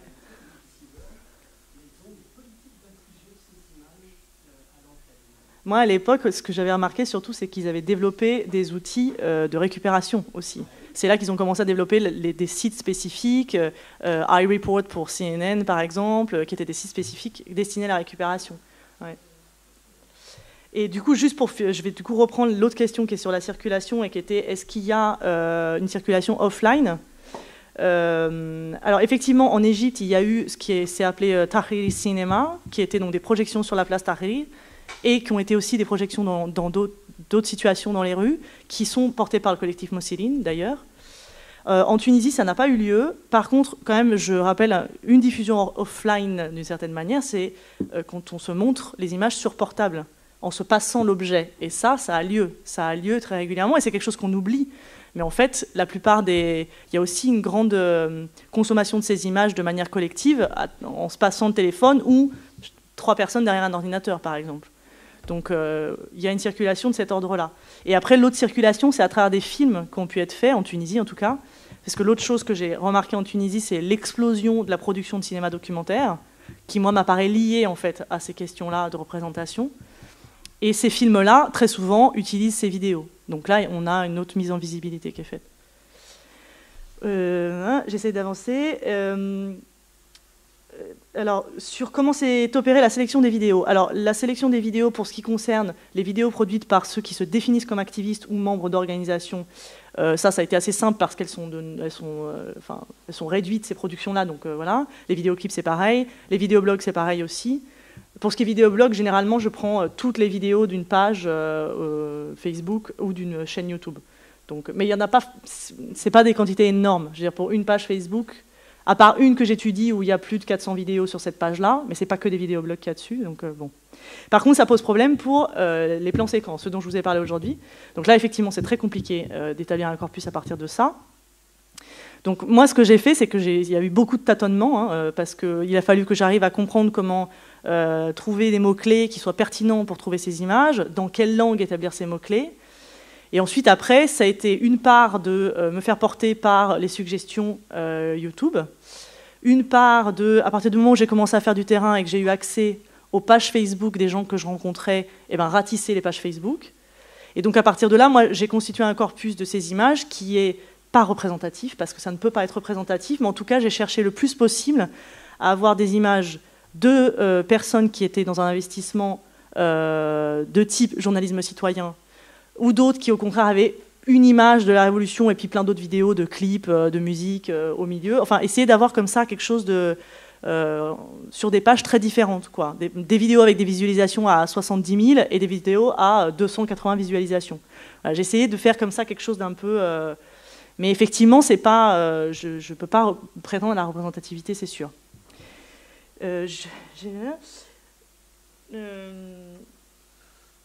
Ah oui, est-ce qu'il y a une différence dans les contenus ou les, formes euh, en fonction des, publics qui sont anticipés? Alors ça, c'est très intéressant.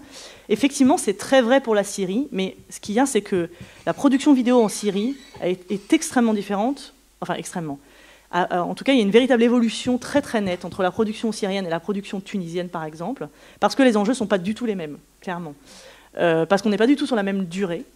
Et euh, c'est en Syrie qu'on observe le plus de développement, par exemple, euh, d'actions pour l'image, donc d'actions qui sont menées uniquement pour être enregistrées, mais à des niveaux extrêmes, hein, c'est-à-dire des, fausses manifestations en appartement qui sont faites pour être filmées uniquement et être mises en ligne, par exemple. Ou alors même, dans les manifestations, retourner les pancartes pour qu'elles puissent être lisibles par ceux qui filment. Par exemple, c'est des choses qu'on a vues qu'en Syrie et qu'on n'a pas du tout vues en Tunisie. Donc moi, quand je parlais de, de la langue, en fait, il s'avère qu'en Tunisie, c'est quand même majoritairement l'arabe il y, a très, il, y a, peu de vidéos où c'est le français et encore moins où c'est l'anglais. Euh, et moi, la plupart des gens que j'ai interrogés, quand même, affirment qu'ils produisent des vidéos euh, dans le but de montrer aux proches, généralement. Sauf ceux qui se définissent comme journalistes citoyens et qui sont dans une démarche qui est informée et qui le déclarent comme tel, et qui finalement sont assez peu, enfin moi, de ce que j'ai pu observer et interroger, qui sont assez peu. Voilà, euh, et je termine avec euh, est-ce que l'anonymat change quelque chose? Euh, Alors, oui, profondément, parce que de manière générale, tous les contenus qui ont été mis en ligne pendant les, semaines de janvier sont anonymes, ou alors, s'ils ne sont pas anonymes, ils sont publiés sur des pages Facebook. Alors, la question de l'anonymat en Tunisie, elle est euh, moi, j'ai interrogé les gens. Des choses qui me frappaient, c'était qu'on était en, contexte quand même de répression extrêmement violente et que les gens utilisaient leur nom et prénom sur Facebook. Et moi, je me disais, mais. Et puis, sachant qu'à chaque fois qu'ils se font arrêter, on voit apparaître des, messages sur les pages Facebook en disant Vous n'êtes euh, arrêtez d'être ami avec cette page, la personne s'est fait arrêter, donc la page va être récupérée. Et moi, je disais, mais je comprends pas comment est-ce que vous continuez d'utiliser leur nom et, et prénom. Enfin, ça me paraît euh, dingue. Et en fait, les gens me répondaient, mais c'est l'inverse. C'est qu'on vient de commencer à utiliser nos noms et prénoms. Et revenir en arrière, ce serait finalement admettre que la répression a gagné. Et il est hors de question de retourner à l'anonymat. Mais donc, en fait, la question de l'anonymat, elle est. Euh, sur YouTube, l'anonymat prédomine. Sur Facebook, non, bah, parce que c'est l'outil qui définit, qui, qui, shape justement les usages. Euh, mais en tout cas, par contre, l'anonymat persiste dans le sens où quand une vidéo circule, on ne sait jamais bien qui l'a mise en ligne en fait. Même si on voit partager par à partir d'eux sur Facebook, en fait, on ne sait pas qui l'a uploadé au départ. Et donc, c'est rarement, euh, rarement un enjeu. Et en tout cas, oui, l'anonymat change quelque chose dans la réception, c'est sûr. Euh, parce qu'à partir du moment où c'est un anonyme, ça peut être un nous. Enfin, il y a un film euh, qui a été fait sur la révolution iranienne, qui a été signé par Anonyme, et en fait, la personne qui l'a fait, qui est une personne quand même, dit, déclarer anonyme est notre manière de ne pas dire je, mais nous.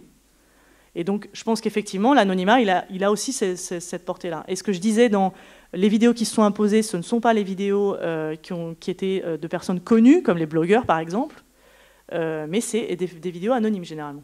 Voilà, j'arrête, je passe. Bon, je crois qu'il nous reste assez peu de temps, donc j'avais. Oui. Non, non, non, mais c'est pas. Donc, euh, pour répondre donc, aux deux questions qui m'ont été posées, donc d'abord celle de Sébastien Broca, merci pour euh, les suggestions de lecture. Euh, si donc, qui était de savoir si j'accepterais de parler d'un commun étatique.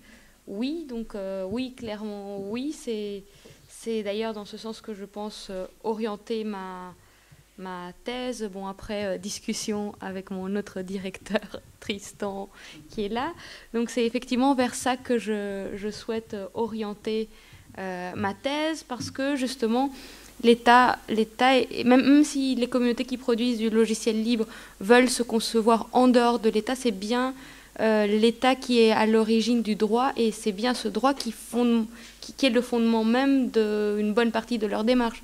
Et d'ailleurs, euh, même si certaines communautés de logiciels libres voudraient s'émanciper de l'État, euh, l'État reste quand même le seul acteur euh, crédible ou qui peut faire le qui peut faire peser dans un rapport de force avec des multinationales bah, d'autres types de, valeurs et de façons de, procéder, ne serait-ce qu'avec les données personnelles ou, ou, dans ce qui concerne les monopoles du, capitalisme cognitif. Donc oui, je pense que c'est c'est vers cet aspect-là que je pense l'orienter. Après, c'est pas dit que, et donc là, je, réponds aussi à, la question que ou la suggestion que posait Tristan sur, euh, sur l'idée que les hackers font aussi partie d'une politique d'État, d'une politique étatique.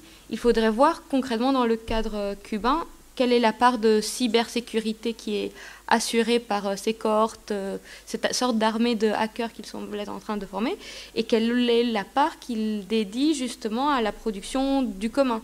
Peut-être que c'est pas si clair que ça, et bon, euh, ça, ce sera à, enfin, à moi ou aux autres qui travailleront sur ce sujet de bah, d'identifier justement quelle est la part des choses. Est-ce que peut-être on pourrait aussi imaginer dans une vision assez pessimiste que que le fait de porter les, euh, les, logiciels libres comme un bien commun cache une stratégie de cyberguerre informatique qu'il préparerait ou, ou, quelque chose d'un tout autre ordre.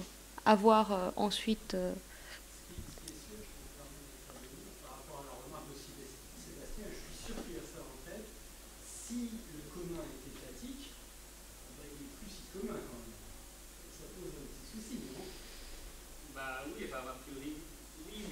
public. Sa source ça je trouve ça intéressant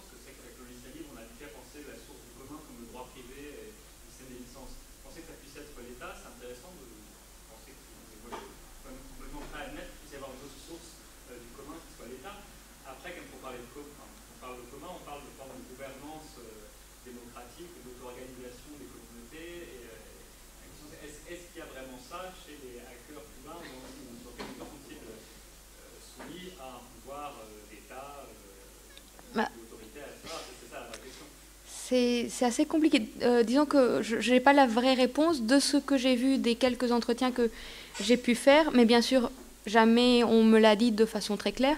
Mais j'ai cru comprendre que surtout la question d'Internet était clivante, c'est-à-dire qu'il y avait d'une part certains, codeurs qui étaient plus euh, pour euh, continuer à contribuer dans des logiciels qui étaient déjà en, route, donc favoriser une sorte d'intelligence collective qui se passe d'un cadre étatique, en bien sûr bénéficiant de leur statut de fonctionnaire, des ressources, etc. Et d'un autre côté, des, tenants un peu plus, on va les appeler étatistes ou nationalistes, qui justement favorisaient un développement purement cubain, donc un logiciel libre d'État et où l'État garde une main mise sur la production.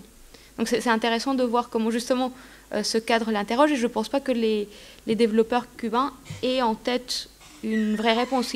Il, me semblait y avoir des, tensions à l'intérieur d'eux qu'ils n'avouaient pas, ce qui est entièrement normal parce que c'est l'État qui leur fournit les ressources pour coder, pour avoir accès à Internet. Donc ils ne peuvent pas non plus remettre en question le rôle de l'État, surtout dans un cadre comme le cubain.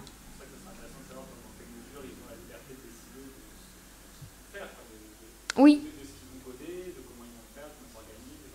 Oui. Justement. Oui. Voilà. Bon, je peux.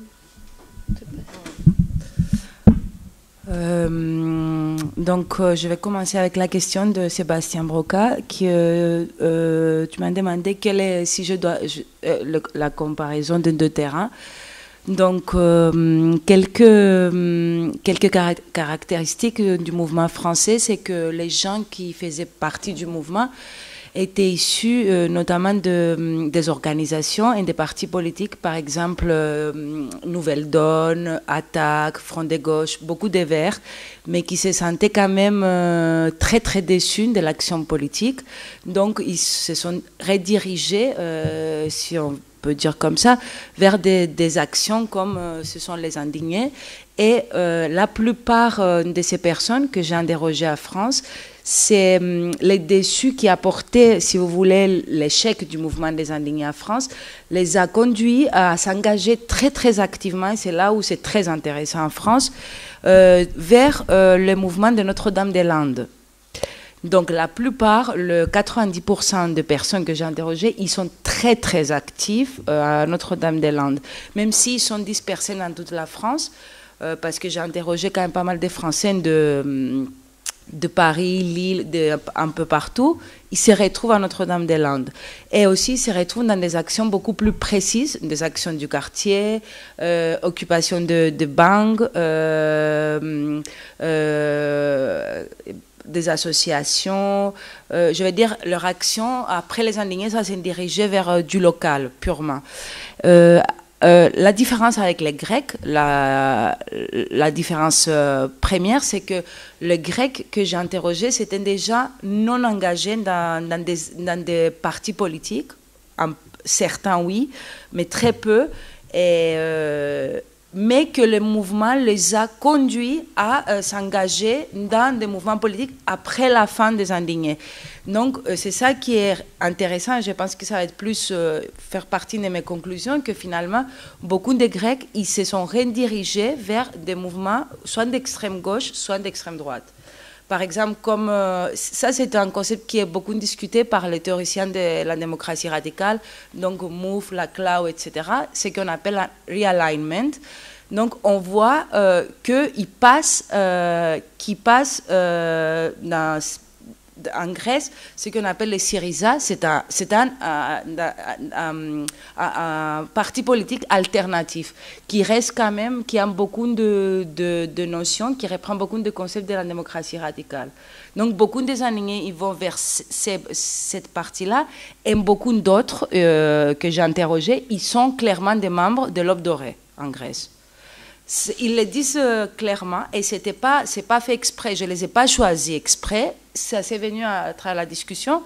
Euh, membre de l'Aube dorée, mais très membre actif euh, aux réunions, aux réunions de quartier. Et aussi, eux aussi, ils disent, voilà, notre action maintenant, c'est une action locale, à travers l'Aube dorée, locale on aide, euh, on donne euh, à manger aux, pauvres, on va aider les vieux qui ont besoin de personnes âgées qui ont besoin d'aller à la banque mais qui ne peuvent pas. Donc aussi, ils se dirigent vers les locales. Et c'est ça, c'est là où ça devient intéressant parce que, comme Anastasia, elle m'a demandé si c'est un miroir finalement Internet, on voit que oui, ça, pourrait être un miroir, mais ça permet quand même euh, à cette euh, résurgence d'une identité alternative. Mais euh, attention à cette alternative vers les extrémités. Et une question d'Alice, peut-être je peux parler en anglais pour que... Donc, um, yes, first for the sampling, I have a categorization actually, uh, inspired by Camrats. It's an old one, but between the active and the passive. Actually, the active, the one who is posting a message, or online and uh, he creates events, uh, he creates groups, and he's the administrator. And the passive, the one who receives an email or he receives the notification, but he's not actually posting anything. So this was my first categorization. And um, but uh, all, all my all the persons that I've interviewed, um, they were found through the Facebook groups.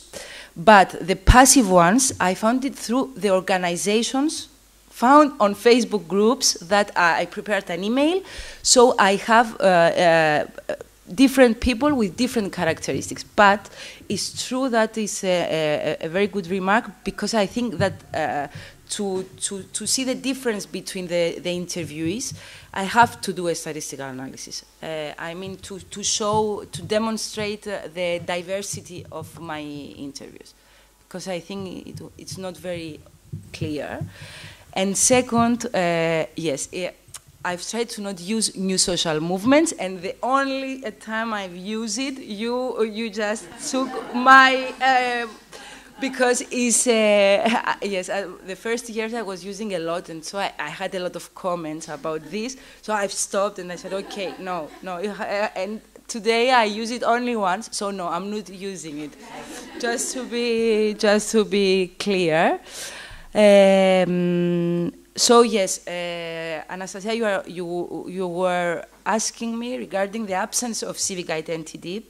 Is it a part of, of uh, the innovation, or is that another identity that cannot be captured by traditional categories? Yes, I think it's something that cannot be captured by traditional categories, but I, as I was uh, explained before to Sebastian, I think that uh, finally is still something traditional because if we are going, uh, if we are speaking, um, this absence uh, can lead us uh, to something uh, uh, that we can speak uh, for radical democracy or radical identity. I think we are coming back to the traditional. Or I don't know if I was very clear, but.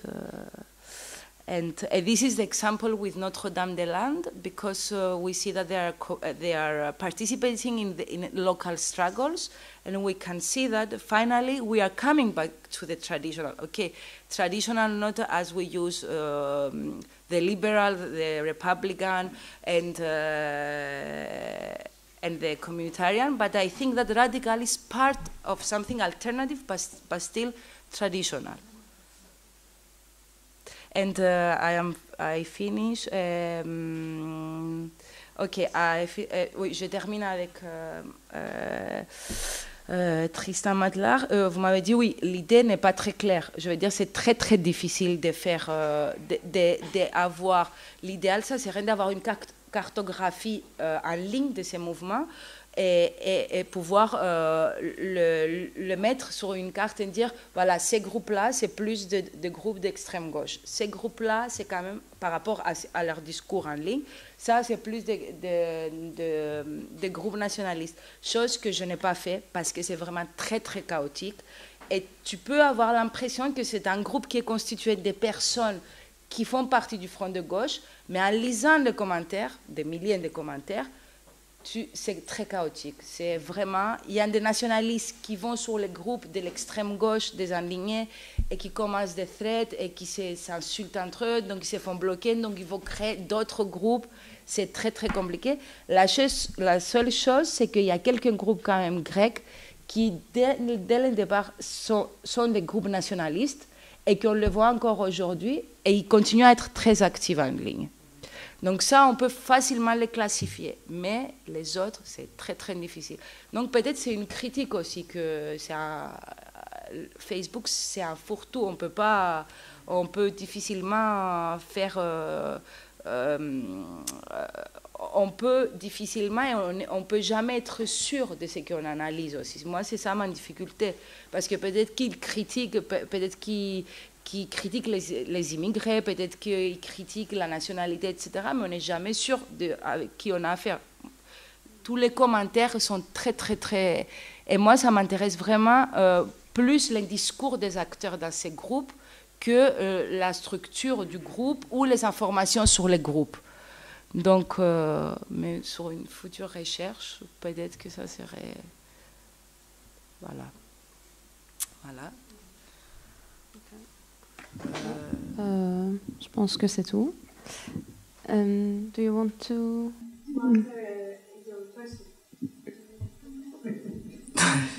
um, I, well, I, I think that in a way the, um, the answer is in the question. um, because it, it, when you gather in public space, you are very visible. Mm. Um, so activists need to create uh, spaces that are more closed. And, and you see movements doing that in, in I think, in different ways. Now, for, for, for movements that uh, are very, part of the ideology is to be very inclusive and um, the stress equality, uh, creating very explicitly and very clearly distinctions like that, exclusions like that, is uh, of problematic. Um, so sometimes the excuses are created in a much more indirect manner. Uh, they can be done through norms, uh, like the ones you mentioned. No Starbucks, the clothes that you're wearing. Um, oh, of course, you don't know about our email list because you haven't participated in a in a meeting, so we can see whether you are holding a Starbucks coffee and what you're wearing, right? Yeah. Who you're friends with. Um, so you have all these sorts of experiences, but always, I think, you need to have the public spaces that are very hmm. visible, but you need to have more private spaces, more closed spaces with fewer participants, where people can form, formulate strategy. Hmm. And, and it is a problem, particularly in inclusive movements, to actually even admit that they do have those spaces. Hmm. But they need them. Okay. So you think it's effective for the um, Yes, for the functioning of the? Yes, I think Okay. it's effective. The problem becomes, the, what becomes a problem is once they start dispersing in various closed spaces and do not really have a center where they can meet each other. Okay. So you saw that, for instance, sometimes with uh, the Occupy movement, that because the discussions in the General Assembly became very long, they took a lot of time, the core activists who were part of working groups, um, they didn't find it very efficient to actually go to the General Assemblies. And it was also extremely cold to be out in a, in a square uh, participating, right? Yeah. Um, so they were going to cafes, to Starbucks next door, the media team in particular, because they needed sockets where they could plug and you know, or they could meet uh, they could meet their uh, journalists, etc., etc. Or they had other spaces that were covered. Um, so once they start dispersing in the different more private or semi-private or semi-public spaces, then you have a problem because you, lose, you lose the center, you lose like the heart, the Okay. big heart of the movement, sort of like. So that that's when become it becomes a problem. But I don't think that everything should be public. I think that Okay. and sometimes we get too obsessed with a very Anglo-Saxon idea about transparency, that everything should be transparent. And I'm thinking, yeah, yes and no. Yeah, yeah, because yeah, um, I think I was, you know, very integrated um, in particip. I I participate, uh, you know, in this uh, collective reunions, and I feel judged. Maybe I don't know, and that's why it came up as an issue in my head, you know, to think about the closed and the and the unclosed uh, spaces. But yeah, thank you. Okay.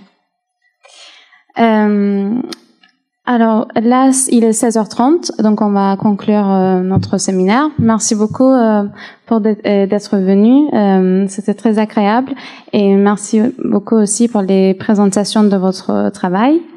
Et voilà, bonnes vacances et bonne soirée. Ah, Oui, oui. Christophe.